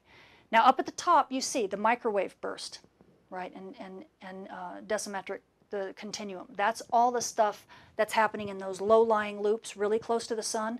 That's the stuff that continues to burn long after the flare is over. Okay. And of course, along with that stuff, you get uh, the hard X-ray and soft X-ray emission as well. But you can see that in that kind of that blue bubble. You can see kind of the frequency range and the time range that that stuff lasts. So you're getting up in the multi-gigahertz range with the microwave emission, and you're getting, you know, maybe up to about half an hour uh, after the flare starts, before that stuff kind of burns down. Basically, you're getting a lot of the plasma, a lot of the electrons kind of slowly draining. If you, any of you have seen coronal rain, where you're seeing all this plasma kind of dripping back down to the surface of the sun, it's emitting microwaves. And so maybe next time when I actually show examples of flare dynamics, I will show that classic example of plasma rain. If you've ever seen coronal, coronal plasma rain on the sun, you can go Google that video. It's a great video to watch. But just know that when it's happening, you're actually seeing uh, microwave emission on the sun. Okay. Now, as we also, um, let's see, what can I talk about? What do I want to talk about first? I guess I'll talk about the type 3 burst. This is the, see this big long these long, long set of lines that go straight down, that is a type 3 burst. Now, insanely enough, look how broadband it is. I mean, it goes from several gigahertz, typically one or two gigahertz, all the way down to kilometric. I mean, really low energy stuff, right? And this is, when we see this signal, when we see this kind of uh, very sharp um, burst going out. This signals, okay, there's been a coronal mass ejection launched along with this flare. And so that's what we, oftentimes when you hear type 3, type 3, that's when you know a, a decent sized uh, coronal mass ejection is coming. And it is, it's a big radio burst that, that ends up lasting, it can last, actually, the, they so, show the type 3 only lasting a few minutes, but in actuality, the type 3 can last quite a, uh, quite a bit longer than that. But you can guarantee that um, HF radio will be out during this period if it's a big flare and it has and it's launching uh, a coronal mass ejection as well uh, because it's so incredibly broadband. And then that uh, oftentimes will have, you'll end up having type 2. You see the type 2 bursts that kind of follow afterwards. See that? Those type 2 bursts. They occur a little bit later and they're from a slightly different, and I'll show you um, examples of them in a minute. But again, because of coronal mass ejections typically. Then you also have a type 4, which is a little bit more like, um, that's all the, the uh, uh, that big cloud of red stuff. That, that can be from, it's, not, it's, it's also broadband, but it's also typically a lot lower intensity. And that oftentimes ends up being from the storm, the, the big solar storm, the CME coming towards Earth. Uh, and we'll again talk more about that later. But then you also get type 1 and type, um, I believe that's type 2 storm, what they call type 2 storm bursting. And that occurs once again as this, this uh, big coronal mass ejection is continuing to travel to Earth. So if you take this timeline and you extend it out to days, you'll actually see that there's a lot of radio noise that continues out, oftentimes from the shock front that's being driven, and that that's the type 2 burst is, is driven by the shock that typically is in front of these big solar storms. So they will continue to, to create type 2 noise all the way out to Earth. And let me show you some examples. So I'm going to stand on this side because you're not going to need this. This diagram on, on top of me is uh, one that has been, um, it's a very older, much older diagram, and it's actually kind of reversed from the one I just showed you because it goes from low frequency to high frequency, so it's flipped upside down. Again, I think historically that's just the way they, they did a lot of these. Um, but you can see here in this top panel, here's a type 3 burst. You can see it again, it's very high frequency. I'm trying to see what frequency they, in this case, it looks like they've only got it up at uh, about 100 megahertz. But you can see the type 3 coming down very, very quickly. Uh, it, it goes uh, from, from very high frequency to, or high frequency down to lower frequency as time goes on. Now, a type, the second panel shows a type 2, a type 3 burst, which is the very, very small type 3 burst, which is this right here. But then it also shows the type 2 bursts. See them here? And they branch out a bit. I'm trying to point to them. yeah, this and this. Those are type 2 bursts, and that's due to the storm, uh, the shock front driving this thing. And then down here in the third panel, you get type 2 bursts. See those ones that kind of come down this way? And then you also get some type 4. See all that kind of noisy stuff down there?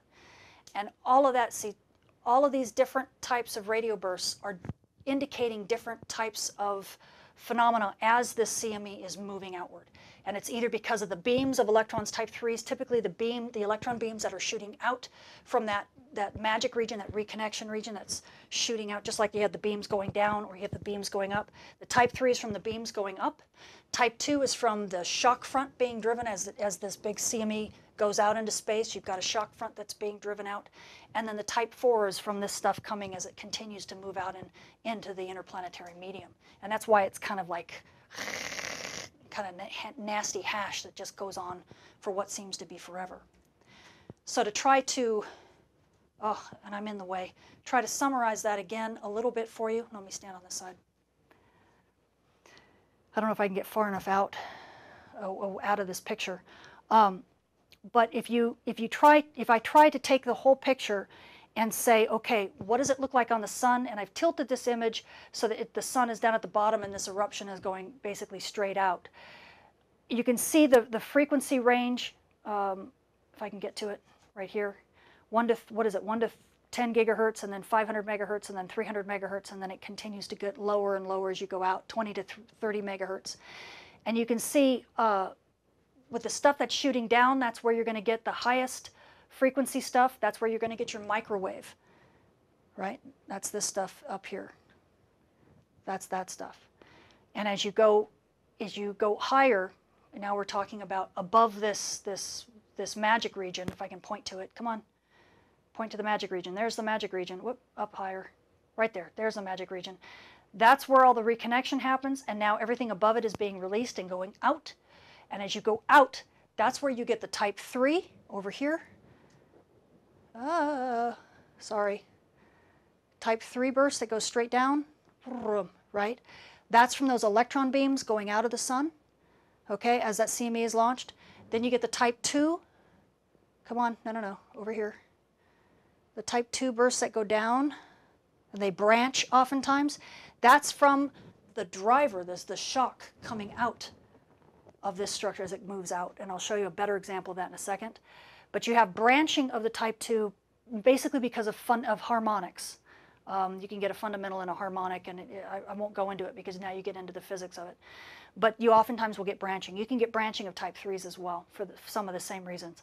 And then as that, that, that monster continues to travel outward, that's when you start getting into this storm stuff. All this, the type 4 and the type 2 storm and all this other lower level stuff as you continue to get, once again, further away, as you move further out in the atmosphere of the sun and out into interplanetary space the frequency of, of radiation and the radio emission goes down and down and down. So let me pause here for a second to see if, if, any, if everybody's completely confused. I'm going to turn on this computer and see if I can get any comments. Um, am I completely confusing you guys with this, or are we, are we making progress? I don't want to, uh, um, you know, confuse everybody too much. Let's see. oops, I'm trying to, let me see if I can reload this for a second. My, my, uh, my comments have stalled, so let me see. Okay. Um, I am looking, I am looking, I am looking. Okay, I'm seeing a lot of comments that have nothing to do with what I'm talking about. Brainwaves. Anybody have a question about my course? um, yes, brain. Yes, brains work on frequencies. It's true, but um, that is a totally different course on that. We're the funny thing is that we've actually uh, we're actually trying to put together, and I'll stop for a second. We're actually trying to put together a database of uh, space weather impacts on on humans because there's a lot of there's a lot of research that is all over the place, and medical researchers are getting better at it, but they, they really haven't um, been able to put it all together yet. And so uh, it's, it's hard to find, it's, it's hard to not only find the data and collate it, but it's also hard to find and separate the, the, the good stuff from the chaff because the, there's a lot of there's a lot of research that's kind of not done all that well because they don't really understand space weather, and so they make very false assumptions and may may do really good medical research, but they're making false assumptions about what's going on in our sun. And we have to separate that stuff because really, unfortunately, that means that the work that they did is not relevant or not probably, you know, reliable. But then there is a lot of good research that has been done with some credible uh, assumptions being made about some space weather events and, and the effects on people. And we, we're trying to, myself and, and some of my, my Patreon uh, VIPs, the steering committee, we're trying to kind of collate all that together to create a database and a set of resources so that people who are affected or feel that they're sensitive to certain aspects of space weather can at least get, at least be pointed in the right direction. Um, I think it's going to be decades yet before we get to a point where we can actually talk about this stuff realistically and get um, doctors to do really rigorous research uh, in a systematic fashion.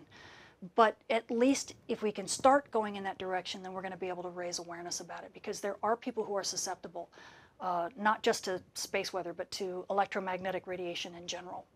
And uh, as we continue to pump ourselves full of radio waves and, and pretty soon microwaves, especially with 5G networks coming online, there's going to be a lot more people who are going to get even more and more susceptible, and they're going to start having these really weird anomalies and mentally and, and you know physically that they're not going to be able to explain. And uh, and we just we just need to start paying more attention to the health issues that that uh, high energy radiation, you know, uh, causes. So that is coming. That is coming. So I just wanted to let you guys know that. Okay. Um, high frequencies, microwave. What are the names for type one, two, three, and four?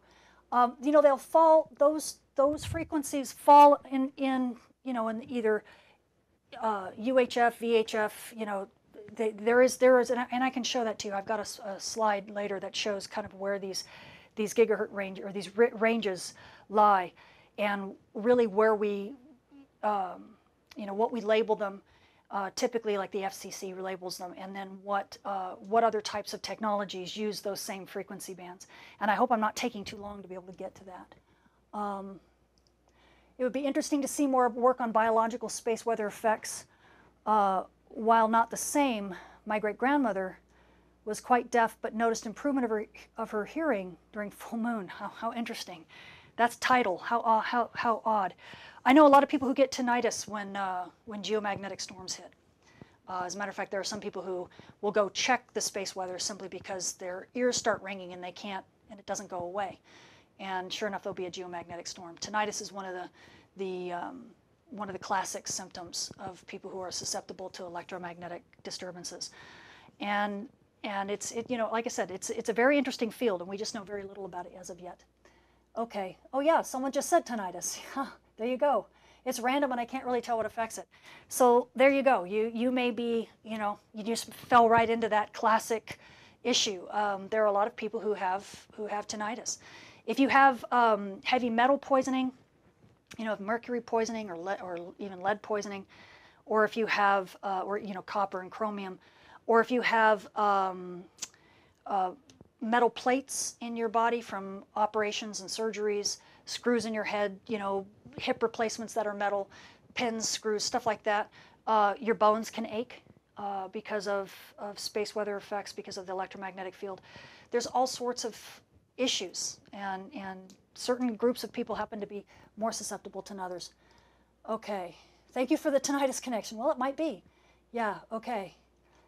Yes, software-defined radio is a good way to check the HF spectrum. Yes, and I'll talk more about that in the in the other in another course. Um, I'll go into very specific effects. For example, there was uh, back in 2006 a very famous uh, global GPS disruption of you know of signals when a very large solar flare screamed when the sun screamed very loudly. And again, people don't don't necessarily pay attention to the fact that solar flares really can take out uh, large swaths of GPS. And again, uh, another thing, uh, when we have these constellations and they're serving internet to, you know, what half of the globe, um, we're going to be in for some really serious wake-up calls when internet is down suddenly. Anybody who has satellite provided internet, and it's going to be down, and it'll be down for half a day, maybe more.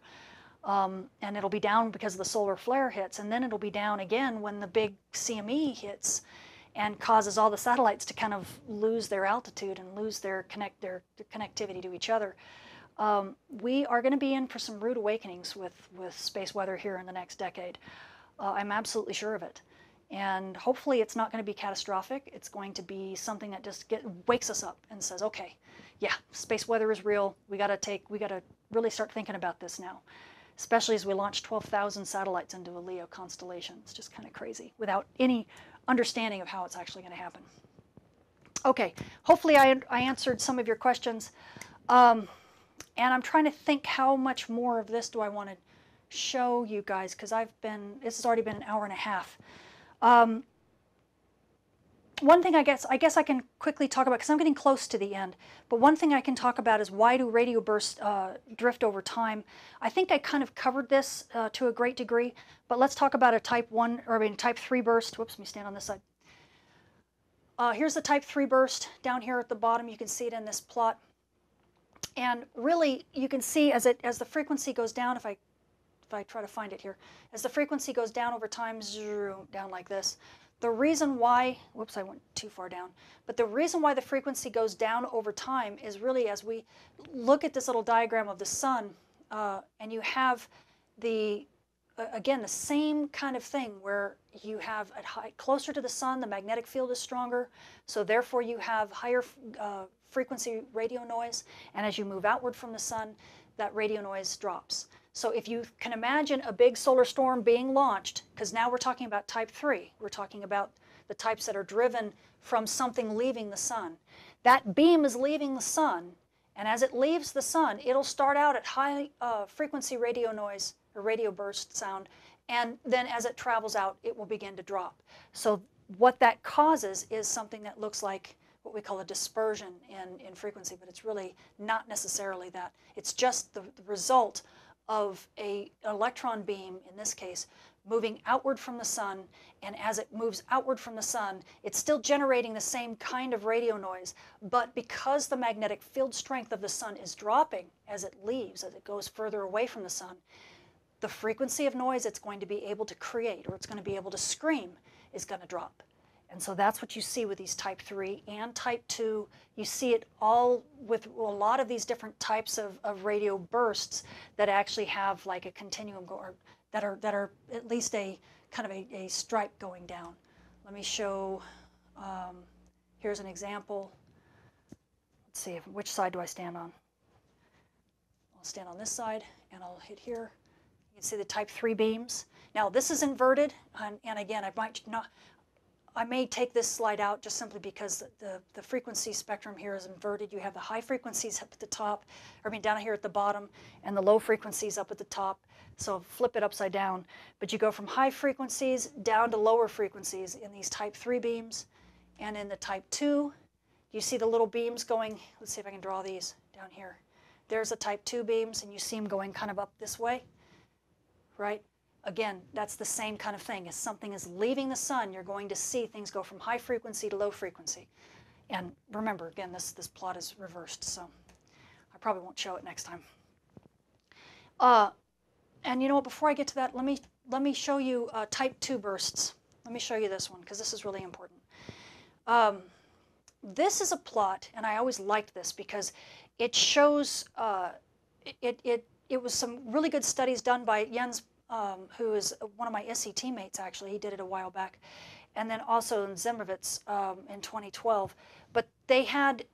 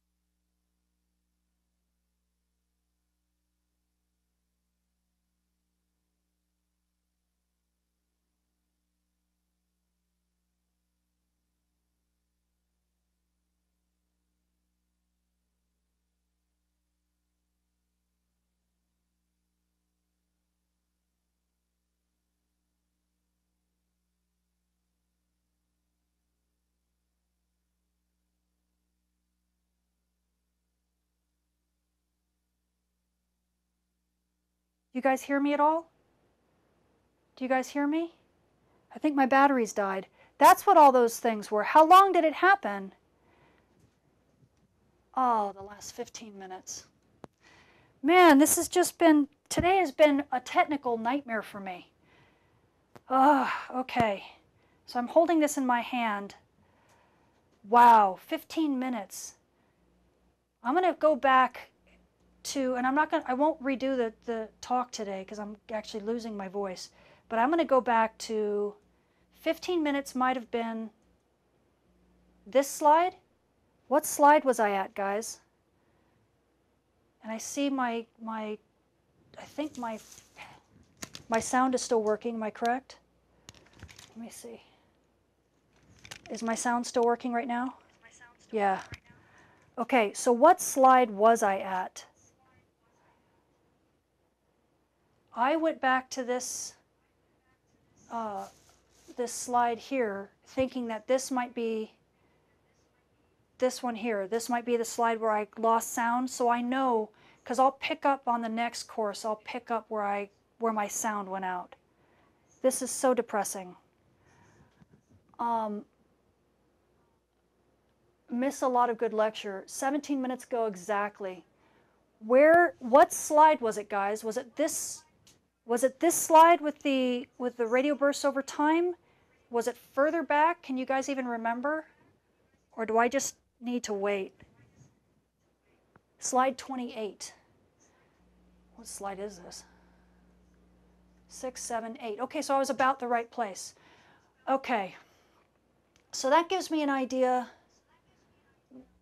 Here, I'm going to mute this. Well, I'm going to turn this down if I can. Hold on, because I'm hearing myself echo. Um, that gives me an idea of how bad it is, how much I lost. Right. Oh, and all the type 2 stuff at the radio burst there and at the end. Okay. Oh, I'm so sorry, guys. Um, yeah, I won't keep you longer, but I will. Oh, I'm trying to think how I can finish this for you. Um, what I'm trying to, what I'm thinking of. Okay, so what this is here, and I'm now watching my audio like a hawk. What this is here is this was what I was going to be covering in the next talk. And but what I'll do is I'll go and do a bit of a review in my next um, uh, mini course. So I'll catch up, and it's actually a good place too because well I won't flip back because I'm flipping so much. But there's one slide where I showed um, a a very busy chart. Actually, I will flip back to it for a second. This one. I'll pick up I'll pick up kind of right about here because um, this is this particular plot shows a a coronal mass ejection from basically uh, uh, uh, source point at the flare in the CME where it was launched, all the way to Earth. See if I get on this side, so it goes from the from the sun all the way to Earth, and and you can see that there's a lot of radio emission all the way. So what I'll do is I'll talk, I'll pick up there and I'll, because that's what I plan to talk about in the next uh, course anyway, when it comes to flare dynamics. So I will talk about that, and at that time I'll go into the driver. This is what type 2 bursts are, is they're associated with big coronal mass ejections. So I can pick that up and add that to, um, to this. So if my plot, if my audio is still working, let me check. Yeah, I think my audio is still working. Um, this was my closing slide that said this is just the beginning. And uh, what I was going to really go into in the next talk was going to be flare dynamics, talking about the precursor and the impulsive and extended phases of the flares. Also things like the gra a gradual flare versus an impulsive one. Essentially, a gradual flare is one that has a coronal mass ejection launch where an, impulsive flare doesn't. And when I go into that stuff, that's where I will catch back up and review some of this radio burst stuff so that you get the details. So I, I don't think, I'll just make sure I add that to the next one so that you won't have missed anything, even with 17 minutes of no audio. I'm so sorry. Anyway, um, on top of that, I'll talk about the solar flare myth. Uh, this was due to my, my one of my advisors, uh, the late Jack Gosling, he wrote a landmark paper back in 1993 about solar flares and the fact that coronal mass ejections don't need solar flares to happen. Um, and at the time, even space weather physicists believed that. So even space weather physicists get solar flares and, and coronal mass ejections mixed up. So don't feel badly if you've done it in the past or if you see weather people do it, you know, on the news or something. They say, oh, a solar flare is racing towards Earth. And no, the solar flare is already hit. It's the solar storm, it's the CME that's coming towards Earth. Um, but because space weather physicists actually have done the same thing. And it took Jack, part of what Jack Gosling did to um, to really set people straight. And then I will talk about the fav- my favorite part of the next uh, course will be talking about the actual disruptions. We had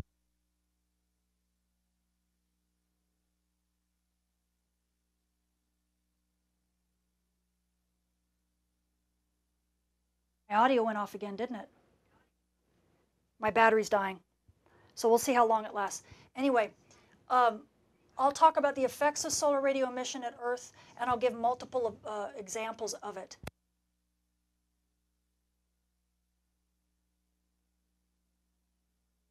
That will be the December event. Yeah, this is really dying. As well as a couple other events. So I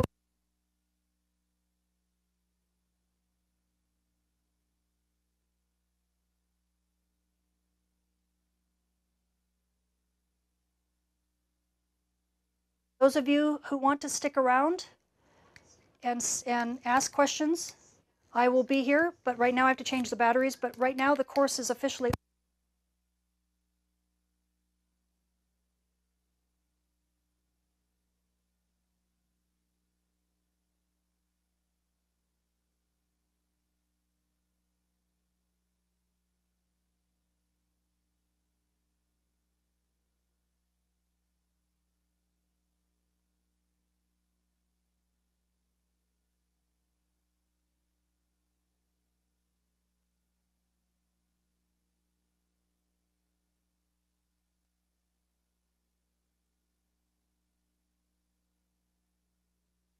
Am I here?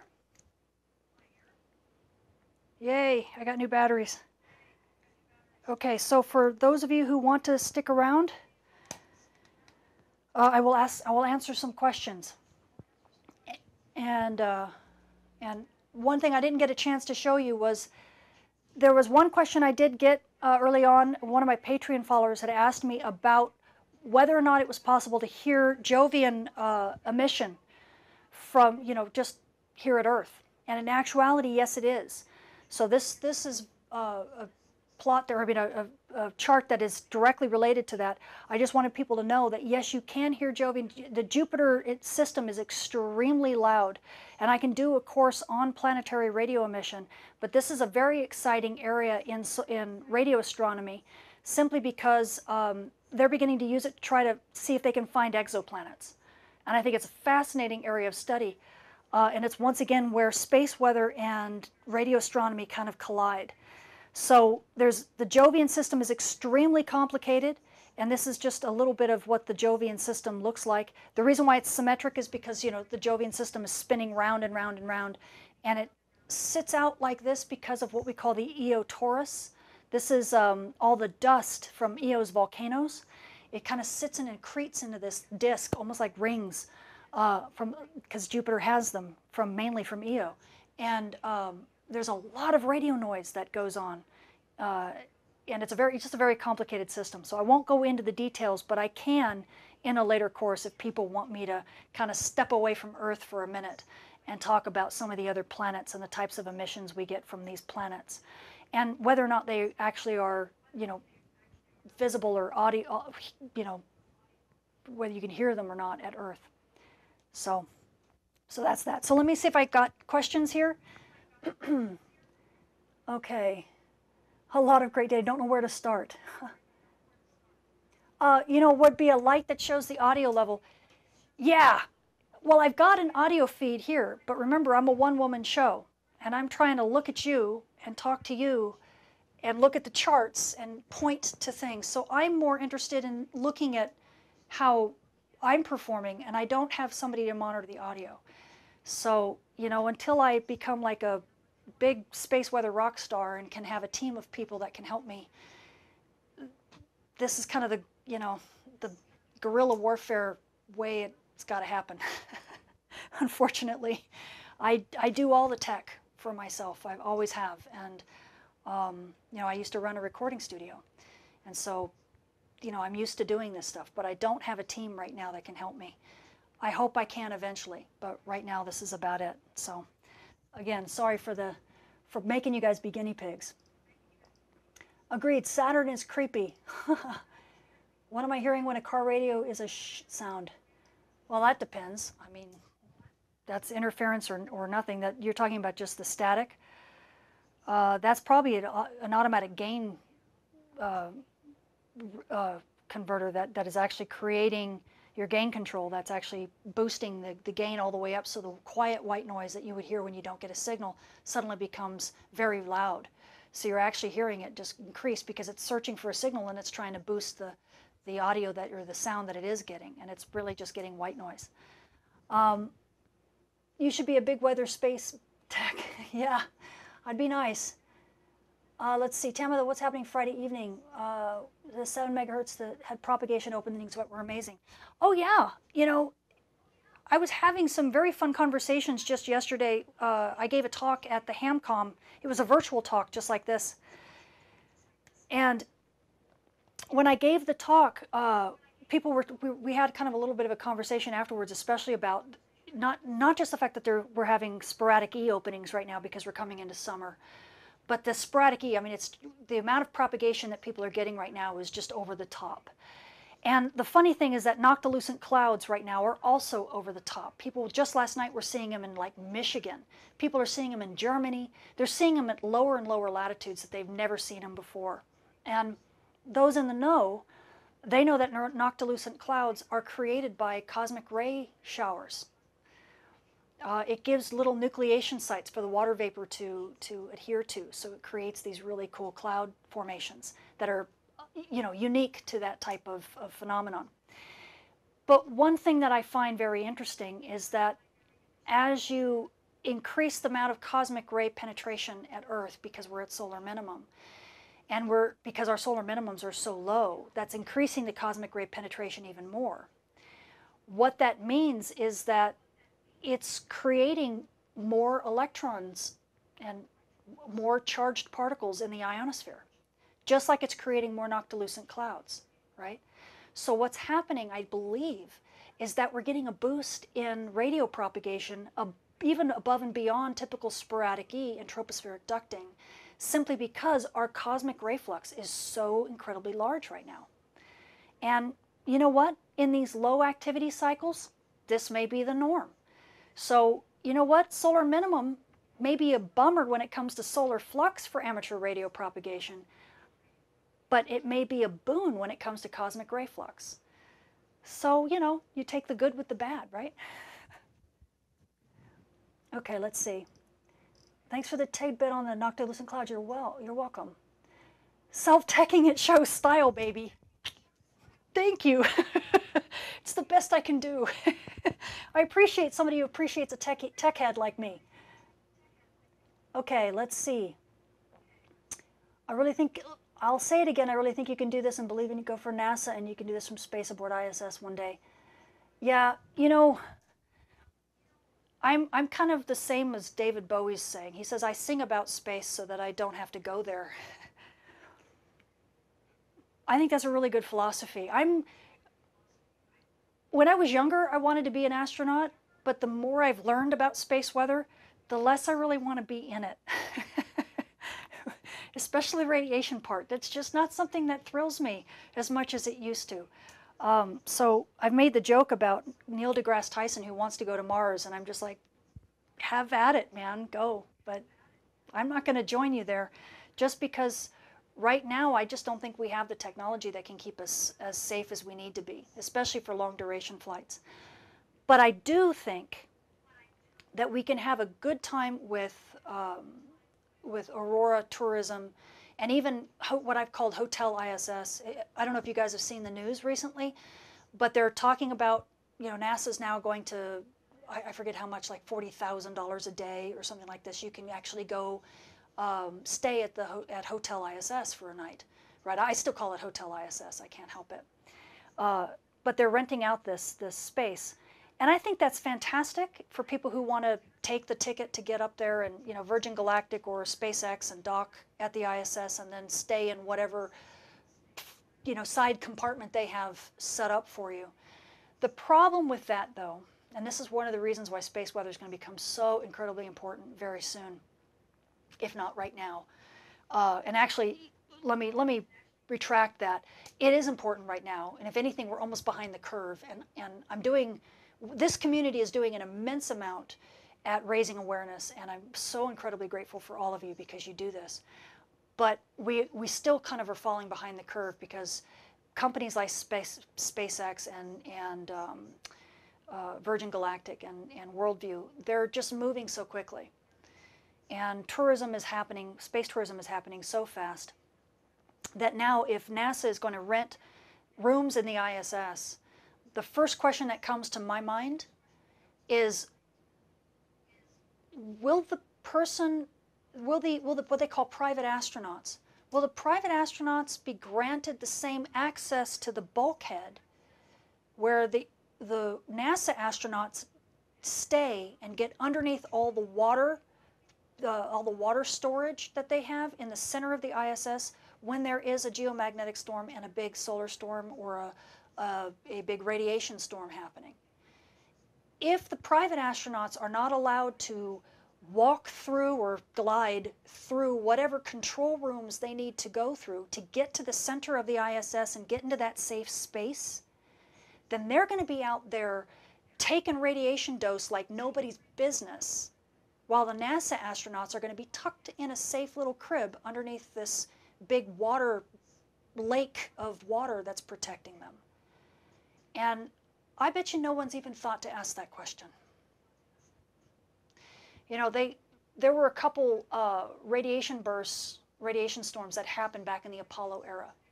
And luckily, none of the astronauts were on the moon at the time when it happened or doing EVAs or anything else like that when these, these big events occurred.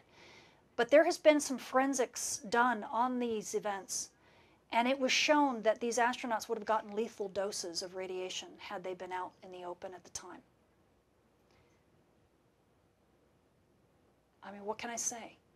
Right? We are being so incredibly cavalier and we're not answering the questions that need to be answered and, and, and we're not demanding that the commercial side of aurora tourism or, or space adventures, space exploration, is being taken as seriously as what NASA knows we need to. Because not that it's NASA's fault, NASA's taking care of its own, but the commercial world needs to take care of their own. And really, I don't think there's any malfeasance here. There's no, there's no malevolence here. It's simply a lack of awareness. I mean, even even Alan Eustace, who went up into the, the big, you know, worldview balloon and did the has the holds the world record for the highest uh, free fall. Uh, he even beat, you know, Felix Baumgartner in the Red Bull jump. Alan Eustace went higher. He went to 135,000 feet and jumped out um, and, and skydived all the way down. And so he saw the rim of space and the whole thing. I mean, he's going higher than even a lot of Aurora tourism balloons will go. They're only going to go to 110,000, and he went to 135, I believe. And I asked him, because I met him, I said, uh, you know, did you check the space weather that day? And he freaked out. I mean, he literally got pale. And he freaked out and said, no, should I have? And I just, you know, I teased him. I said, no, it was okay. I said, I, I checked for him and it was fine. But had it not been,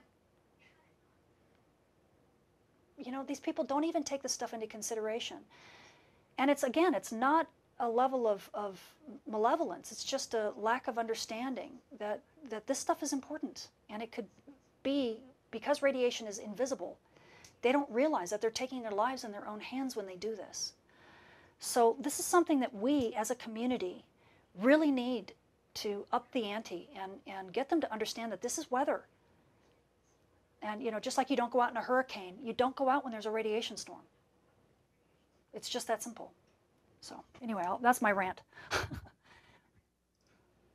okay, yeah, very practical look at safe, space safety. I, yeah, you know, it, it really is safety first, and and we're we're getting this stuff that's that's the the advancements that are being made are so incredibly fast that we're having a hard time keeping up with them.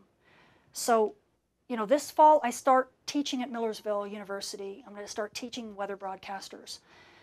And hopefully we'll get practitioners in the field that are going to be, you know, station scientists and TV broadcasters and people in your local communities, your local news communities who have the credentials they need to be able to get on television and talk about this stuff. And they'll start breaking through this, this lack of awareness. And along with me continuing to do, to push, you know, push the envelope, and then having these other people who are credentialed going out and, and trying to get it on the nightly news, especially when it's warranted. I think we'll get there. I just hope we're going to get there fast enough. So, okay. Uh, let's see, anything else, guys? Can noctilucent clouds be used like meteor trails for radio propagation? Um, mm, I don't think so because you know the noctilucent clouds are being formed in the neutral atmosphere, and really when we're talking about radio propagation, we're talking about higher up, and so the the neutral winds that drive you know terrestrial weather, they're very different than the winds. There are winds that are being uh, that are higher in the in the upper atmosphere in the ionosphere that are driving you know currents and things up up higher, and in those higher regions, that's where we're dealing with the different types of propagation and waveguides and, and um, skip and all that kind of stuff. So while noctilucent clouds might give you an idea of the latitude where propagation is possible, I don't think it's going to be a one for one in terms of how it moves or the exact lo location of it. But it could give you a general sense because if you know if the cosmic ray penetration is at a latitude low enough to give you noctilucent clouds, then up above it, it's definitely increasing the, the um, propagation capability of the ionosphere. It's just the details will be different because the regimes are different. Hopefully that answers that question. Okay. Um, love your rants. They're objective and real. Oh, yeah, I think, you know, you guys are just so amazing. As a community, I, I couldn't ask for more. Your comments on YouTube, your comments on Twitter and Facebook, you guys put up with me.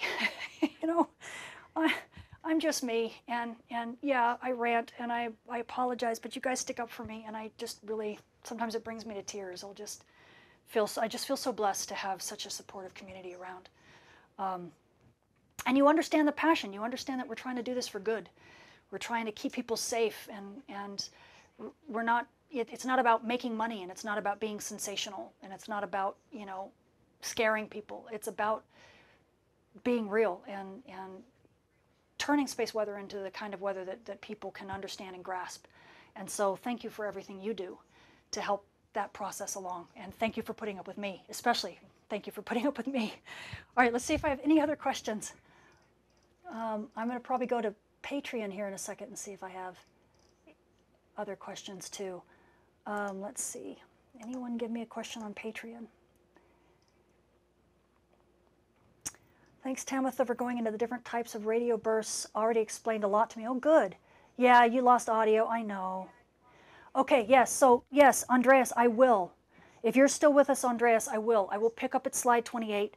I, have already got an idea of how to kind of incorporate that in the next course. So uh, I will definitely do that. And I'm so sorry again that I dropped audio. That was just awful. Uh, I need to find a way to kind of well, let me ask you a question. Do you guys hear my little echo of audio?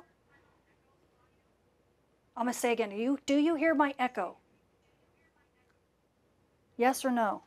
Because if you guys don't hear that in my microphone, then I might just keep the audio on and just get used to it. It's kind of yelling at me. oh, thank you guys. I appreciate that. So no echo. Really? Oh, that's great.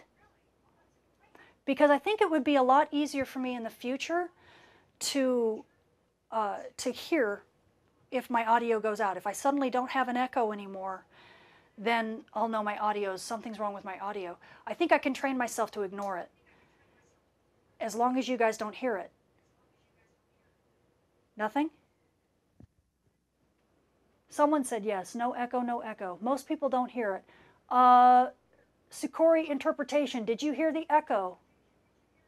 And okay, so Sukori hears it. Maybe I can turn it down. Maybe I can muffle it a little bit or put it further away. Hold on. What about now? Do you hear the echo now? It sounds almost as loud. I'll figure that out. But most people, I can slightly hear it. So some people can slightly hear it, and no one hears not enough to matter. Okay, you know, just a little, I think I made it worse actually by putting it there. I'll figure out what to do so that I hear it, because it doesn't have to be as loud as I hear it. I mean, it's pretty loud. So I can figure out what to do, keep it lower, and then maybe I can just kind of relate to that. And as long as I hear my own echo, but you guys don't, then that will be my mitigation for 17 minutes of no audio. I'm so sorry. okay, guys. So there's a there's a fix. Okay, talk back. Monitor out of phase to cancel. I don't have I love you, but I don't have the capability of doing that with this thing. No, I don't. It's not that sophisticated a mixer. I know, I need a, I need a phase button. Wouldn't that be great? No, someone's very savvy. They, they, either that's an amateur radio operator or an audio guy. And I know exactly what you mean, and I can't. If I had an audio deck, I'd be able to do it, but I don't. Let me stick it down there and see if that makes it better. Yeah, see, that's almost too quiet for me now. But okay, anyway, so you're so cute. Okay, good. I'm glad you guys are putting up with me. Um, I, am deaf in one ear and can't get the gear out of the other. I love it. Okay. No, I'm not hearing streaming. Well, I'm hearing a streaming latency. You're right. But I'm hearing a streaming latency from my controller. Um, I wonder if I can show this to you. You see my controller? That's my controller. I'm using something called Slingbox, or Sling Studio rather, and that's what's allowing me to do the green screen. And you can see my audio feed right there into a set of headphones.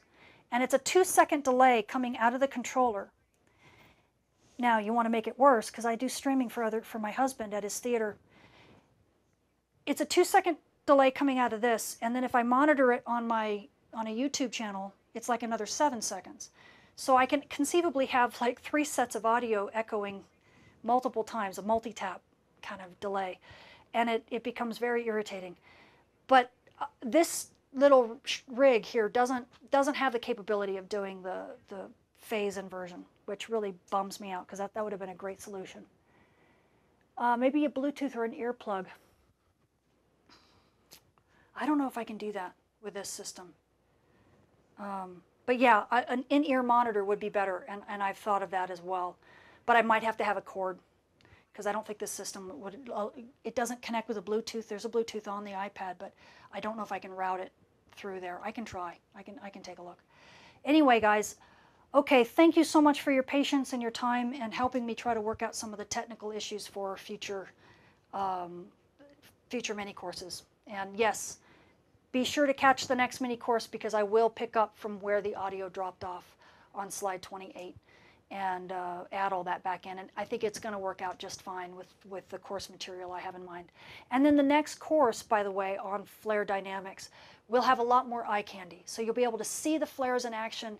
And what's cool will be this time I can put up some of the radio burst information and put up the model again. And you can see as the flare is happening, what part of, you know, oh, that's where the microwave emission happens. Oh, there's the hard x-rays. Oh, there's the when the type 3 burst is launched you know, and, you, and you'll really be able to sink in as to what parts of the flare are generating what kind of radio noise.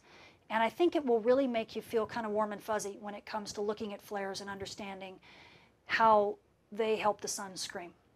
Okay? And then, of course, we'll talk about the effects. So if that's it for questions, um, I think I'll say goodbye. I'll check one more time for questions. Anyone else? Any last second things? Or put the chat in front of you and we'll let you know. You know, I did that one, I, I used to do that. Do you remember when I had it, it- the back, the screen behind me, I'd flip to a version of, of YouTube? and I'd have that behind me because I only have one computer here that I can access that that the chat window because I, I don't have a lot of computers I can put right next to me. And so I did that, but everybody thought it was like psychedelic and stuff because they'd see me behind me, and it would be like this infinite mirror thing. Um, so I stopped doing that and I started putting it over here. But now I can't see the chat nearly as well. So I fix one problem and I create another. it never ends. Oh, okay. Flare dynamics, can't wait. Good, good, good. Um, oh, that's sweet. Yes, my husband is, is very grateful. Uh, he's very grateful to have me because I'm the only one who's a techie in the house. If, if it weren't for me, we wouldn't even have a VCR that worked. you wouldn't even have cable TV with a remote control. so, yeah, I'm the techie. Anyway, okay, guys, it looks like I answered all your questions for now. And uh, this has been great. And again, thank you so much for putting up with me and, and all my issues. So, hopefully, next time we'll get it fixed. And I can't wait for the next uh, Flare course. It's going to be a good one. Okay? All right, guys. Talk to you soon. Okay, bye.